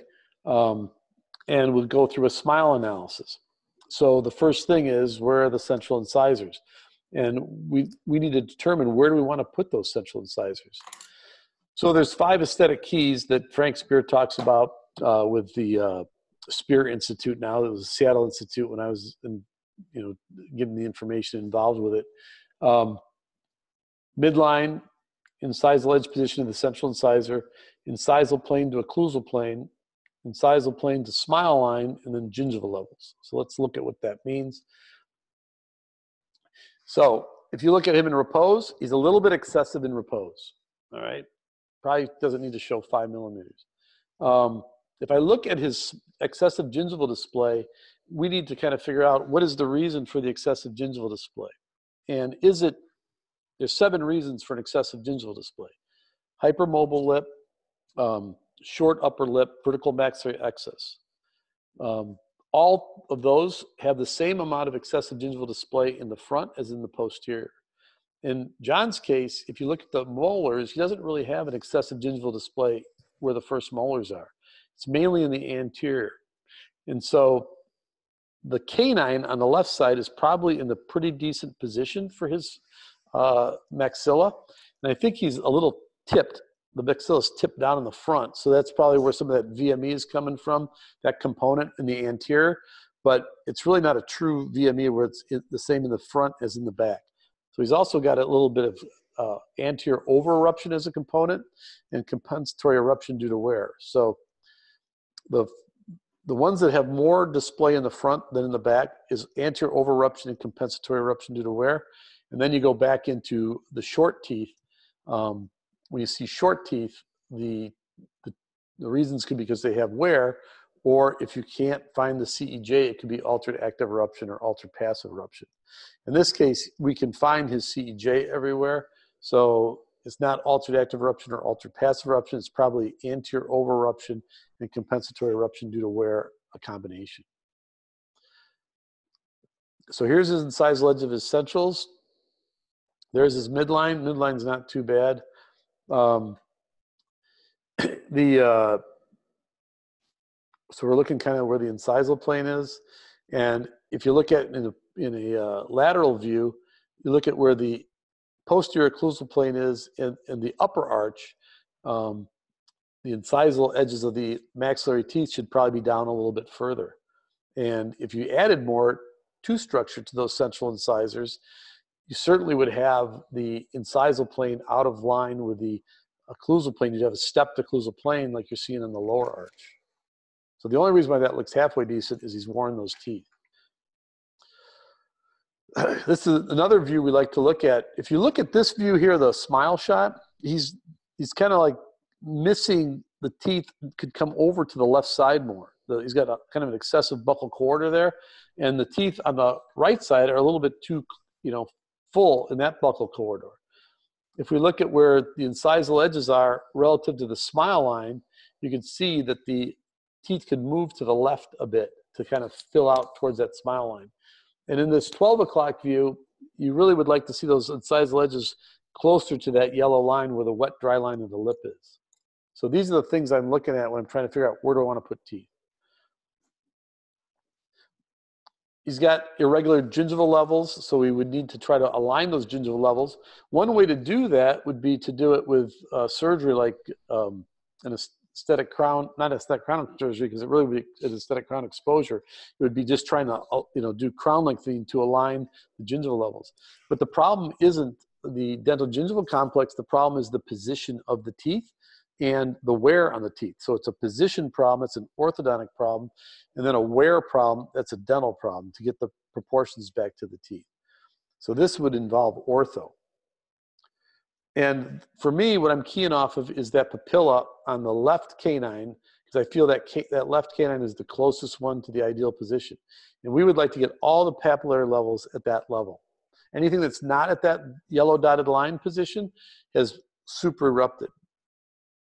And that's where the free gingival margin of that canine is. So ideally, we would probably like to push those centrals all the way up to that line and the canine all the way up to that line, and then the laterals to be in an appropriate position to that line. That's probably a little bit too far to attain, but maybe with fixed anchorage that could become closer to that.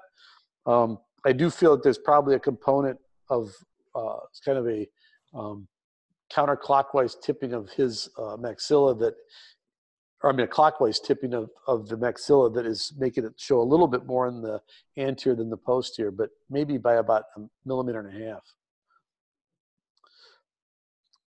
So here's his smile that he's kind of like learned to do on the left hand side. Then here's where we really try to get um, that full smile. And that's the gingival display. So we're looking at the uh, position of the central incisor midline. We're looking at uh, incisal plane to occlusal plane. We're looking at incisal plane to smile line, and we're looking at the gingival levels or the gingival display. And we can get all these uh, numbers and, and things into a nice little uh, uh, graph here to help us when we go to look at what's off. These are the core aesthetic values from Rouse and Robbins. And there we've got the core values as what's ideal in the first column, and then the case values of what he actually has. And so anything that's got an X that's abnormal, we're Xing that out. And those are the things that need to be corrected. They've got a nice book, Jeff and Bill have got a great book on describing this and how to get these these values. But you know, basically, I have my assistants or Lynn gather this information before I ever go in the room occlusal analysis, we want to know, you know, what are the posterior determinants of the occlusion, you know, the condylar inclination. You know, we, we go ahead and we get upper cast, lower cast, and a protrusive uh, record to uh, set the condylar inclination on the articulator. And then we also get um, an interocclusal record in a fully seated condylar position. So we have the orthopedic position of the uh, lower jaw to the upper jaw. So we can have a true uh, uh, assessment of the jaw to jaw relationship with the patient. And then we can take a look at this and we can see he's heavily restored. We can see some teeth are restorations are failing. Um, and, you know, we can start to say, well, what do we want to try to achieve here? And while I'm counting, talking to these things, you know, talking about where and stuff like that, Lynn is kind of writing these issues down. And she will write it down uh, on this uh, risk assessment. So, you want to talk a little bit about that? Sure. So, what we're talking about, and, and, and again, they're they're watching too, so we can really break it down. We can really unpack it, and especially with this case, looking at it, you know, there's a lot of things going on. There's a lot of moving parts here. It can be overwhelming. So, break it down to, into aesthetics first, and it's also a great way patients will say well i don't care about aesthetics or or this is really important to me. So we write down what their problem is what their risk is but then by the same token they see what the what the issue is and what the treatment could be and what their risk is. Functional um, you know same thing how they're functioning what the occlusion is what the treatment would be based on um, their problem structural integ- integrity as far as you know teeth break, breaking fracturing. In so many cases i mean this can be used doesn't have to be used for complex case. It can be used for a person who's fractured a molar. It's like yeah. okay here's for one, one example would be structural integrity of the tooth. Let's say someone has a large amalgam in, in their mouth and they have fractured or they maybe they didn't fracture a cusp but they'd say they've got the k around the amalgam. One of the treatments we could do there would be to do another amalgam and that would lower the risk from maybe high risk red down to yellow.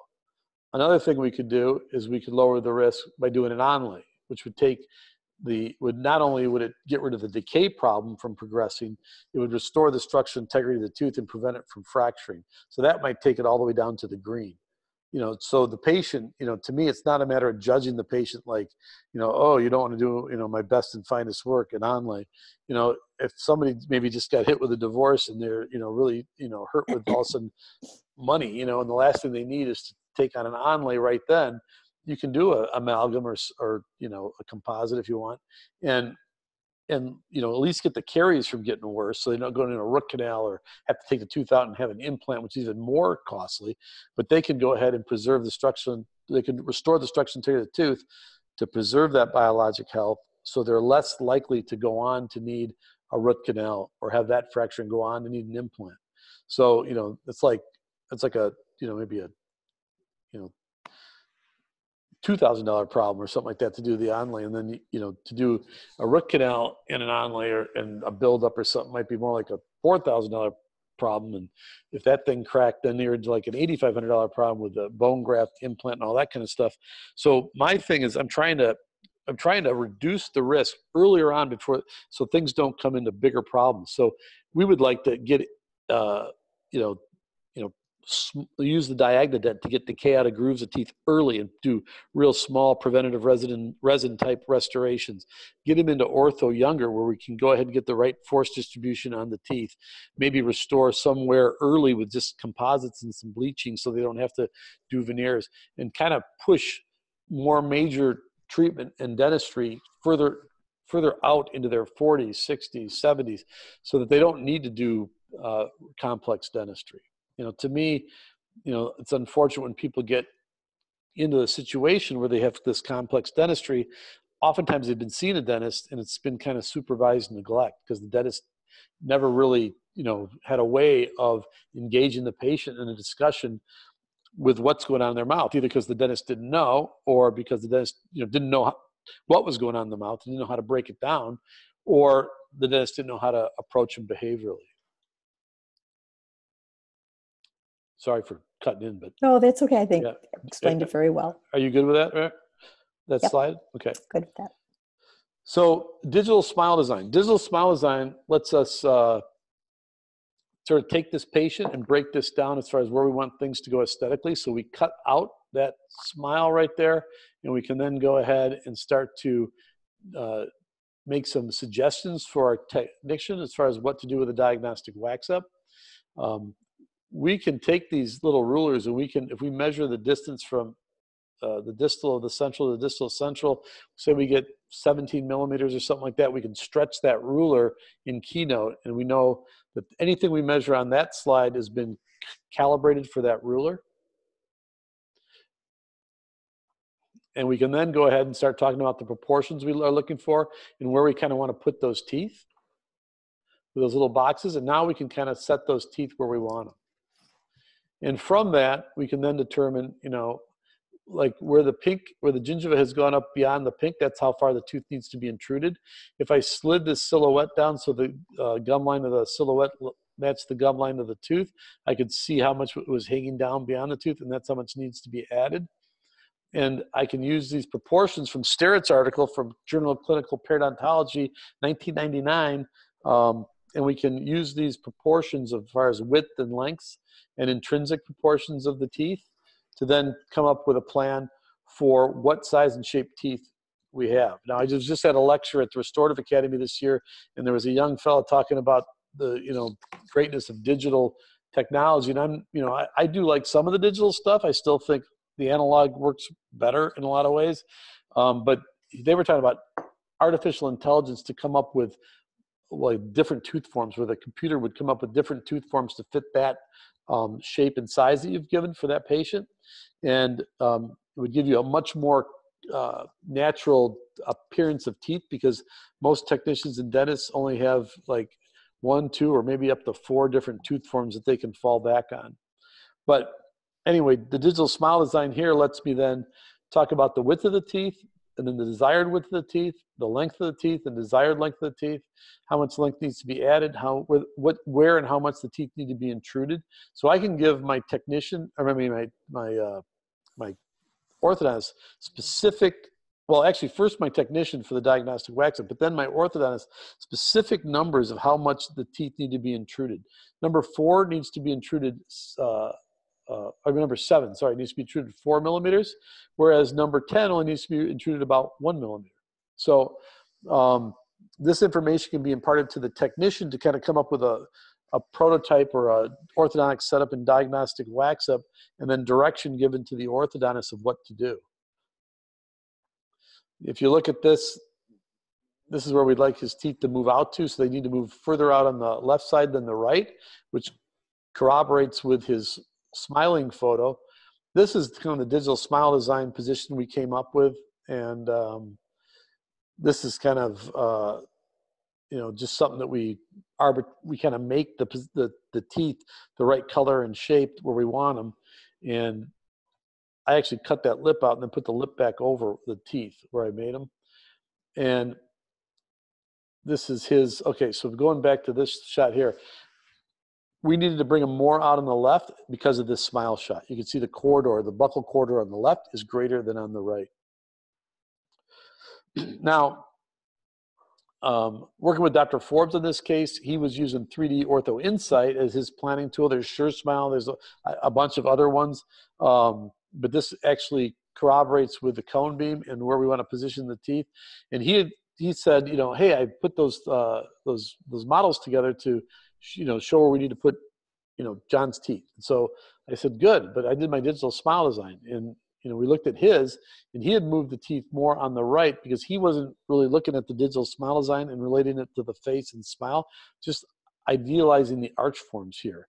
And and while it was nice what he did here, it would have not really accomplished as great of an aesthetic result as if we corroborate it with the digital smile design. So then we went back to the drawing board and working together with my input from what I wanted as far as like like setting a denture in the patient's face, we move things out a lot further on the left side and, and not so much on the right. then with this, we got, we got true numbers and we could get these numbers. These just say, you know, how much you're going to intrude the tooth, how much more space you need. Gives all the movements that were uh, accomplished in 3D Ortho Insight. Doesn't matter what tool you use, you know, the, with the orthodontist. And then Don Cornell, who's a fantastic ceramist, works with Jensen in their digital workflow and has done a lot with uh, developing um, the zirconia restorations, and the monolithic restorations with the Miyo, uh, or Miyo, I mean, uh, uh, uh, uh it's, a, it's like a way to shade the teeth that lets you do monolithic without layering. And it's almost indiscernible from the layered uh, uh, restorations without chipping then you don't have the chipping issue. So here's where the teeth were then moved. He created a plane. First of all he first of all he had a, a we, we mounted it in a fully seated condylar position. He got the tooth positions. Then he cut a plane out so he had a reference with the upper arch and he put the teeth back into that original reference and he waxed it all into position and then he moved the teeth out, two and a half on the left, one and a half on the right. And he was able to move these teeth to line up with those little dots. Now you could probably do this virtually, but um, still, I don't know if it was as good as the analog because there's something kind of somewhat lost in the three dimensional uh, representation on a two dimensional screen. Um, I think that we don't, I mean, I don't know if you've ever had this happen with you with the implants where it looks like the implant's in the perfect position, you know, coming up through the emergence profile of the tooth uh, with your planning software and your surgical guide. But when you use like a shell of where you want that tooth to be surgically, sometimes it's kind of coming at an angle that's not actually what was represented on that two dimensional screen. So I do still think there's an advantage to these analog approaches but what we did is we moved the teeth to where we want them to create the right size and shape of the teeth and then waxed in the correct size and shape of the teeth. So Don Cornell did all this. And this can be something that is used then to help in uh, trying to get the right orthodontic position. And then we come into an action plan. So once we get the action plan going, the action plan is something that's developed after negotiating a future of choice. This is after then we've after we've had a uh, IDT consultation with you know uh, the specialist. So in this case, it was Dr. Forbes, uh, Dr. Mandelaris, myself, John. We all sat down. We came up with a plan, and then it was up to Lynn and I to come up with these actual um, phases. And the phases come off of an outline. So if you want to know more about that phase, phase one, phase two, there'd be an outline with a description. And Lynn, you might want to speak a little bit to how you generate that. Okay, so basically at the treatment planning session, when they've talked about what what we're going to do, what the priorities are, and, and again after they've had the, all the meetings, um, with the IDT doctors, what I will do is, as he said, in paragraph form. Oops, losing that. That was the Paragraph second. form. That was the second half I put out there. So that was Oh, 20 okay. phases, not just 12. So that was Okay. just continuing. Yeah. Right. So this is just a great. So again, it corresponds in paragraph form to more explanation or treatment plan, but the patient can kind of from this it's a great visual to see this is where i'm at this is where i need to go this is what's going to happen next um, and with that they will come in after we've done the treatment planning session i will present the treatment plan and the action plan and the timeline to them. And at that time also first we'll go through that and then i will present them with a fee schedule that parallels the treatment plan. So then that way we can really sit back and and you know look at the the overall plan and what their emotional currency is going to um, require and also financial currency. And from here too we're we're also negotiating again also you know kind of figuring out what's going to work best for them but this is something they'll they take home with them and, and it's kind of their um, it's kind of their deed if you will it's that they can follow as they're going through treatment And this is a fluid document. Things come up in treatment where maybe we didn't have to do something we thought we had to do. We can take things out. We can alter this, but this is our best guess at the beginning of the case. Um, so in this particular case uh, for John, this was uh, Simplant, uh, I believe, was the simulation software here, and the gold teeth are where he is at the beginning of treatment. The red teeth was where he ended up, and they merged the red tooth position to the pre-op bone, which is purple. And that shows you how much we would have pushed those teeth out of the bone. The red. So the, the, the red on that purple is not reality. It's the position after we did SFOT superimposed into the pre-op bone. So a couple years back, we were talking and we looked at uh, you know some of the, the Braut study and crestal bone and radicular bone and how thick and thin it was. And so this was kind of like one of those nice little rule of thumb type things um, of what to do for this t- different types of treatment. Um, kind of like the Tarnow uh, article where it talked about like five millimeters from the base of the contact uh, to the uh, interproximal peak of bone. If you have five millimeters, you'll have a you'll have a you won't have a black triangle. You'll have a papilla there filling it. You know, most of the time. So this was just kind of like evaluating what do you have with the phenotype of that particular patient. So we looked at crestal, which was bone four millimeters down from the CEJ, and then radicular, which was bone halfway down the root length. And so in the first one here, you know, there's there's really four different types. There's thick, thick, thin, thick, thick, thin, and thin, thin. Um, thick, thick never exists, but it doesn't need any treatment. But thin, thick, okay, is a C, it would be a connective tissue graft. And that's typically what we do uh, when we see some recessions on patients. We send them to the periodontist to do a connective tissue graft. But what if you're looking at recession that really has this underneath?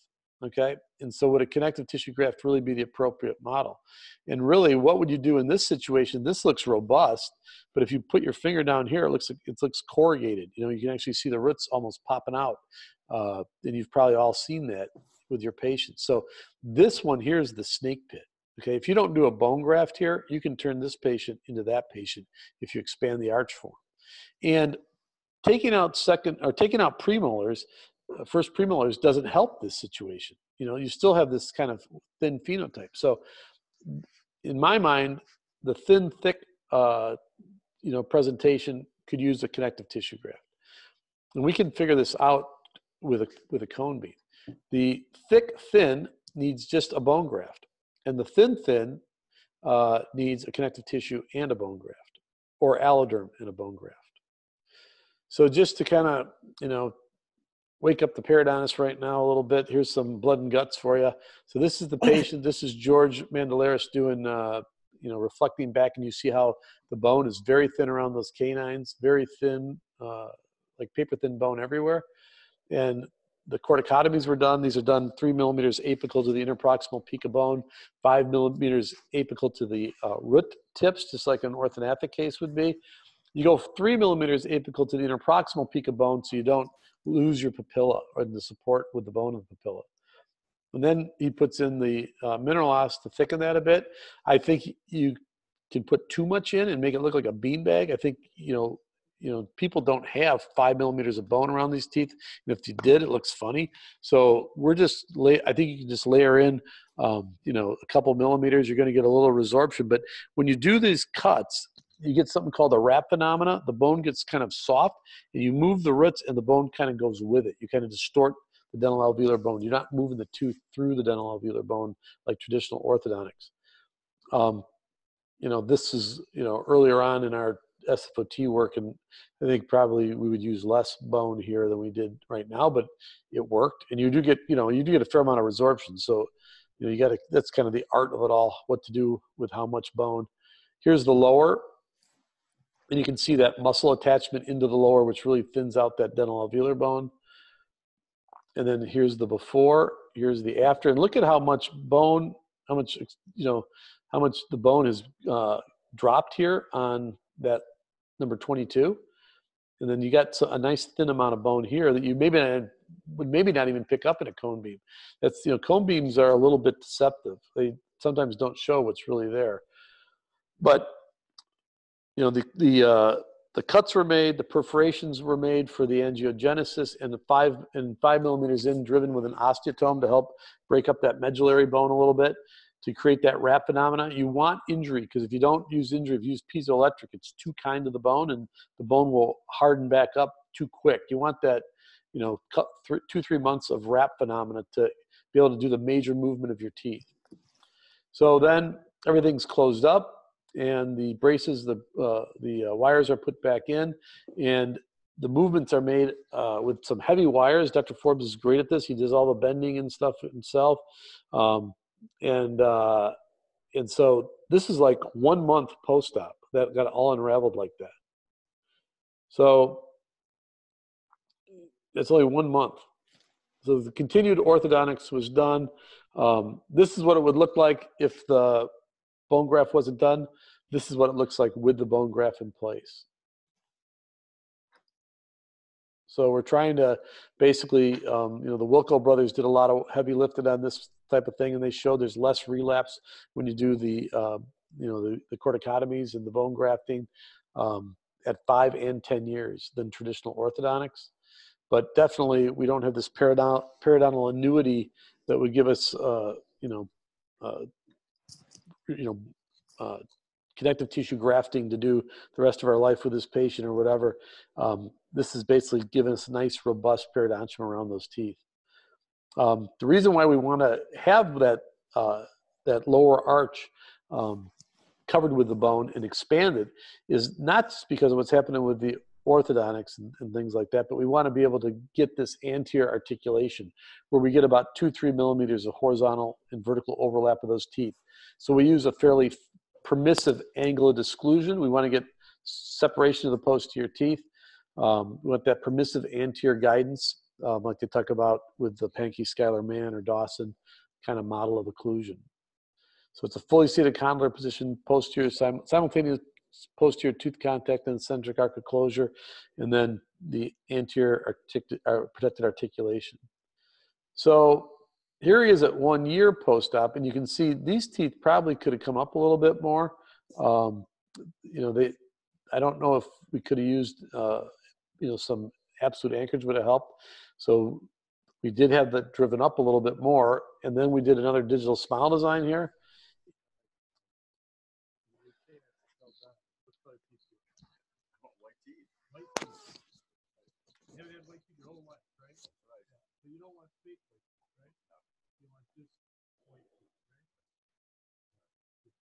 Well, he did want fake. He did want fake white teeth. Okay, so um, you know when he picked what he could have, he wanted bleached looking teeth, and, and it looked ridiculous, really, to me. And so, and eventually, we talked to him. Well, his friends, who are some of them in dentistry, kind of said, "Hey, you know that's too white." You know, so and then we had already told him that, and so he agreed. And we went ahead and did a little digital smile design thing here, and we did a mock-up of where we want some corrections to be done and this is what we're going to try to go for. So this is kind of giving us an idea where we're at.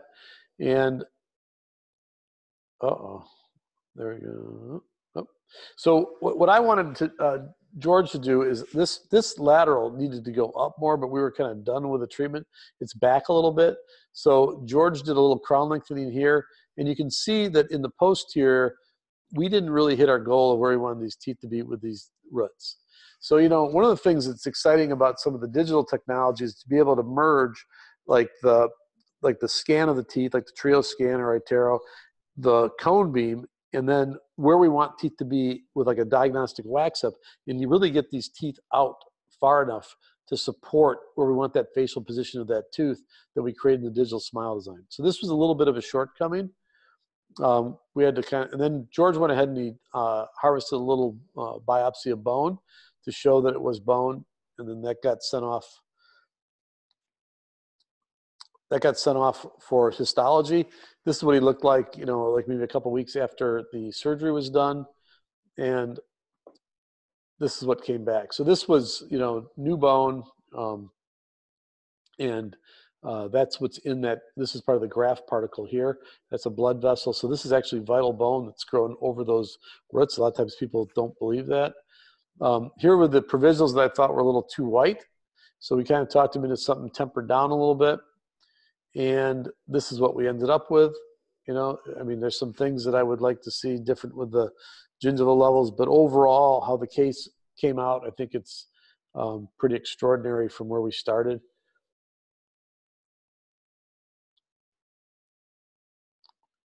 Before and after the smile. And John in the before and after picture here. So, um, you know, he's got nice stable occlusion. His teeth are restored. Uh, some people say that was a amelogenesis imperfecta. I don't know if it was for sure. It could have been from acid reflux and things like that. Um, John never let us really find out if he was an airway patient. I suspect he was an airway patient, and that might have been what some of that uh, breakdown of the enamel was from acid reflux at night and uh, a little bit of grinding. But um, you know this is kind of the outcome that you can get with some of you know just kind of breaking things down into the true etiology of the problem. But if you don't invite the patient into understanding what you're up against you have to accept compromised treatment because you know they're only going to go for like whatever the least is. And then you're fighting that uh, going down the road with that patient and it's failing and you're having problems with that and you know it becomes problematic. You can't be successful. So the co-diagnosis, the co-discovery really allows us to kind of engage the patient. And if they want to compromise, we can say, you know, if you're comfortable with the compromise, you say, well, it's not, you know, lowering the risk completely, but I'm okay with that. If you're okay with that, we can do that. You know, we can do that for now, and uh, and then you know maybe live to fight another day. The moment one definitely commits oneself, then providence moves too. All sorts of things occur to help one that would never otherwise have occurred. A whole stream of events issues from the decision which no man could have dreamed would have come his way. Whatever you can do or dream you can do, begin it. Boldness has genius, power, magic in it. Begin it now. Uh, William H. Murray or John Anster are the two that have been attributed that quote. And, um, you know, I think that uh, with right livelihood, providence moves with you. So if you're doing the right thing for people and you are really trying to, you know, not just do it for the buck, but try to do you know, correct the true etiology of the problem so you can minimize the amount of dentistry and involvement. I think that, uh, you know, it ends up being, you know, kind of the, the thing that not a lot of people are doing. And so it, it is a, you know, may, you know, if you want to, you know, it's kind of a way to market your practice, you know, it's different. It's, but you do have to understand how to treatment plan, diagnose, you have to have the skill set to provide the treatment. Um, and you need to have the kind of staff that will have those conversations while you're actually working in the back because you don't have time to really you know produce and have these conversations. So i'm so grateful to have lynn as part of my team because she's just absolutely amazing at working through these issues with the patients. So thank you lynn. And thank you everybody out there. So i don't know if there's any questions or anything that uh, you want to go through here but i'll stop sharing my screen and let you guys show up. I did have a question actually. I had a question on the um, the consult form that you have. Now, who's who's writing on that? Is it um, Lynn? Are you writing that? Are you asking them that, or are you just handing? I them? am. No, no, no, no. I'm asking that, and I'm writing. You know, I'm writing the cliff notes on that, and and uh, there's generally a you know there's they're answering with more information. I try to encapsulate a little bit, but no, that's just that's part of the interview, and they're in a very just a very placid, a very comfortable area. Uh, we're confined where they can. I think they can feel pretty safe. Okay, it's it's during the the new patient examination that you're asking that those questions. So it would be so the first um, when they're coming into the practice, we do the new patient interview over the or telephone screening, just Yes. to kind of figure out how we can help them, and then they're coming in for the new patient consult in the consult room Okay, at that point. all right. Uh, at the con at the consult, do you do any diagnosis? Does do No. they do a full exam? No. No. Okay, they have to come back for that appointment. Yes. Okay. So can you tell me what you do in that consultation when they come in for the first visit? So depending on what they need when they come in for the first clinical visit I- after the I consult, called or, and I made an appointment that I Okay. do something. My first appointment when I come in. What's my first appointment like? okay, so your first appointment is in the consult room with me. Okay. and we meet and we start I, we you know talk a little bit about their background and just you know some niceties and and kind of i try to gauge their comfort level and so we will go i will generally go right into the questions but just very um, you know I, i'm not sitting down saying you know how may we help you it's like how can we help you today that's usually the first thing that we start out with and from there it just flows Right. Okay. And these, so these are if I if I um, if I go ahead and share the screen here real quick, I'll show you those questions again, just so you, you can see it real quick. Um, And- can you can you see this uh, these questions? Yes. Yeah. So these are the questions that these are part of the questions. There's, there's more, but this is the idea is to try to find out what that patient's view of dentistry is and what their issues are. Do they see the doctor at all during this visit, or is it just you, Lynn? Yes. So what they'll do is I'll, I'll go through the questions, Sure.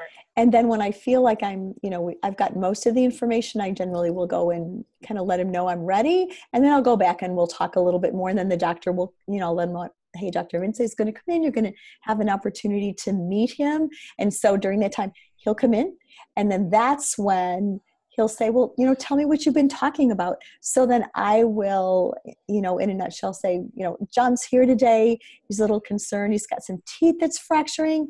He's got some sensitivity. And Lynn will usually say, um, "Tell me if there's if I've got anything wrong. Feel free to jump in." So the patient, you know, if they do feel like something's not being conveyed properly, can change it. But if they don't have anything that isn't being conveyed right, they feel like they have been heard. You know, Yes. it's it's it's it's important for the patient to think we understand. Right. It's more important for the patient to feel understood. Right. Understand. Yep. Yep. So when you come in to see them, has has there been any X-rays or any pictures taken, or you just come in? No, no, no, no. We okay. So unlike most dental offices that are trying to be efficient, we're trying to be effective. Okay. So, so um, what we try to do is we try to have the more like like information, get the wheels turning process for a while, come back. You know, then gather the diagnostic information. You know, that's usually a, an hour and a half of gathering information, Yeah. and um, and then you know that's enough. You know, they, don't- they don't want to talk about stuff right then. You know, so we're going to gather the information. If they want to see something, we'll show it to them. But but we usually say, okay, and they're, they're happy to go, you know, and then we're going to, next time you come in, we're going to talk about it again and we'll show you what we found, you know, and then we go over that at the third and maybe even the fourth visit, you know, with a, you know, the, you know, it might be the fourth visit if we had a new patient two where we took diagnostic cast and mounted them, you know. So the first time that you meet them, doctor, uh, you're just you're you're addressing their concerns as well. You're I'm I'm I'm getting the I'm getting the uh, cliff notes from those questions that I used to ask. She's going through getting all that information and Yep. making sure the patient knows that that information has been conveyed to me. Okay. Then the next time we get together, really the assistants and the hygienists are gathering most of that diagnostic information. I just do the the TMJ evaluation, you know, the the Doppler and things like that, things that they can't do. But most of the other gather, the gathering they've done, and I just kind of you know verify what's been gathered there that they chart. I'll cite any issues I see between the X-rays and stuff to chart. And then we don't talk about we, we, we might talk about some of that with the patient like you know we take we, we took these x-rays because we can't always see what's going on. Do you see what's happening here? That dark spot that means that's decay. You know we might explain some of that stuff as we go. And we could probably do some more of that with our dental assistants and things. I mean part part of our challenge too is to not have this just be lynn and i doing the co-discovery but you know get the rest of the team where they can do it too. Yes. so you know that's you know and they're not doing it all the time. They're more technical so it's a little bit harder for them you know? Yes.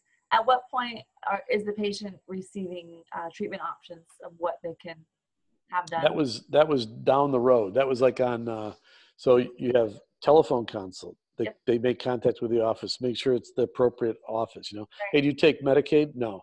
All right? You know? It's like then the next one is like the new patient consultation you know and the new patient consultation we go through those questions and we inform them that we are a fee for service dental uh, practice that we don't we don't take insurance benefits Yes. the, the insurance check goes to them you know and um, you know are you okay paying a higher fee for a level of service that we provide at a you know extraordinary level you know yes. making sure that that's all good then they come in uh, you know a third now the third contact is coming in then it's the second time they've been in but the third contact is new patient one which would be the um, charting of the teeth you know periodontium occlusion all right that stuff and get x-rays okay? And then we may combine that with the next appointment or they may come back a different time for new patient two where you get the mounted cast. They might come back another time for digital smile design uh, things okay where we take certain pictures for the digital smile design to show them what they might look like. Then we go over in a treatment planning session aesthetically functionally structurally biologically what the problems are we find that's number four or five. Now the next time they come in is obtaining a future of choice. Now you're starting to talk about how do they want to take care of the problems. And Yeah. and then after that then if they decided how they want to take care of the problem at least in a gross way you know then it might be then you go into then then you come up with your final action plan which then has all the phases of treatment that that timeline and fees attached to it Okay. Do you, how can I see if anybody has any questions on here to see? Um, just ask for any questions. If you would, have you would have seen under Q and A, you would see Okay, I see. a group there. I see. So far, nothing. All right. I thought that was extremely informative. I learned a lot on that good one. nice Yeah, that was a really good case. How old was that guy? 38 Wow, that's a long time to to wait for that, huh? That was good though. yeah and he was in uh he was in braces in like medical school for like six years Wow. Yeah. and didn't really get the results because didn't have the bone to put the teeth where they need to be you know Yes. at least they didn't take out the premolars Yes. we really do appreciate all your information, uh, all your hard work on that PowerPoint. It was pretty impressive. Really impressive. thank you yeah well you. you know lynn and i worked on that stuff together and you know and she's uh she's really you know embodied this so that i can kind of let that part go you know and uh and know it's in better hands than i can do it She does a wonderful job. yeah very much so Thanks. You know, if I could just, if there's anything that, is- as I mentioned earlier, if you ta a takeaway from this and this, the protocols that Dr. Vence has established at the office is go in tomorrow to your practices and ask patients whether they're patient of record, how may I help you? Ask your spouse, ask your kids. Just that reaction or that extension reaching out to patients changes everything. And with that one question, even if you don't you know start somewhere you might not have a formalized list of questions but how may i help you will just bring a myriad of emotions and information to you on where that patient really is and so if i can send you home with anything tonight it would be just that simple question and listen Good. I'm gonna try it. I'll let you know how Okay. it goes. okay sounds great Good job, Lynn. Yeah, Great thank job, you. Brian. we had yes, thank you very much. We appreciate it. did anybody stay all the way to the end Yeah, actually we did. Yeah. good good for them Yeah, they were very interested. We had what was it all about like one or one or two, but yeah, it was it was good. It stayed steady. Good job. great all right well thanks guys i appreciate being able to share that Yes, thank thanks you. Thanks, Lee okay all right and Yeah. congrat and best wishes this weekend Thank you. okay To Have a great trip. to us both. Yes. For both of us. yeah Best wishes for Danielle. You're right. Yeah, and, and, and you're back. Hopefully it'll be okay to travel. yeah. Thanks, guys. We appreciate oh, it. Okay. All right. Have a good night. Thank you. You too. Bye bye.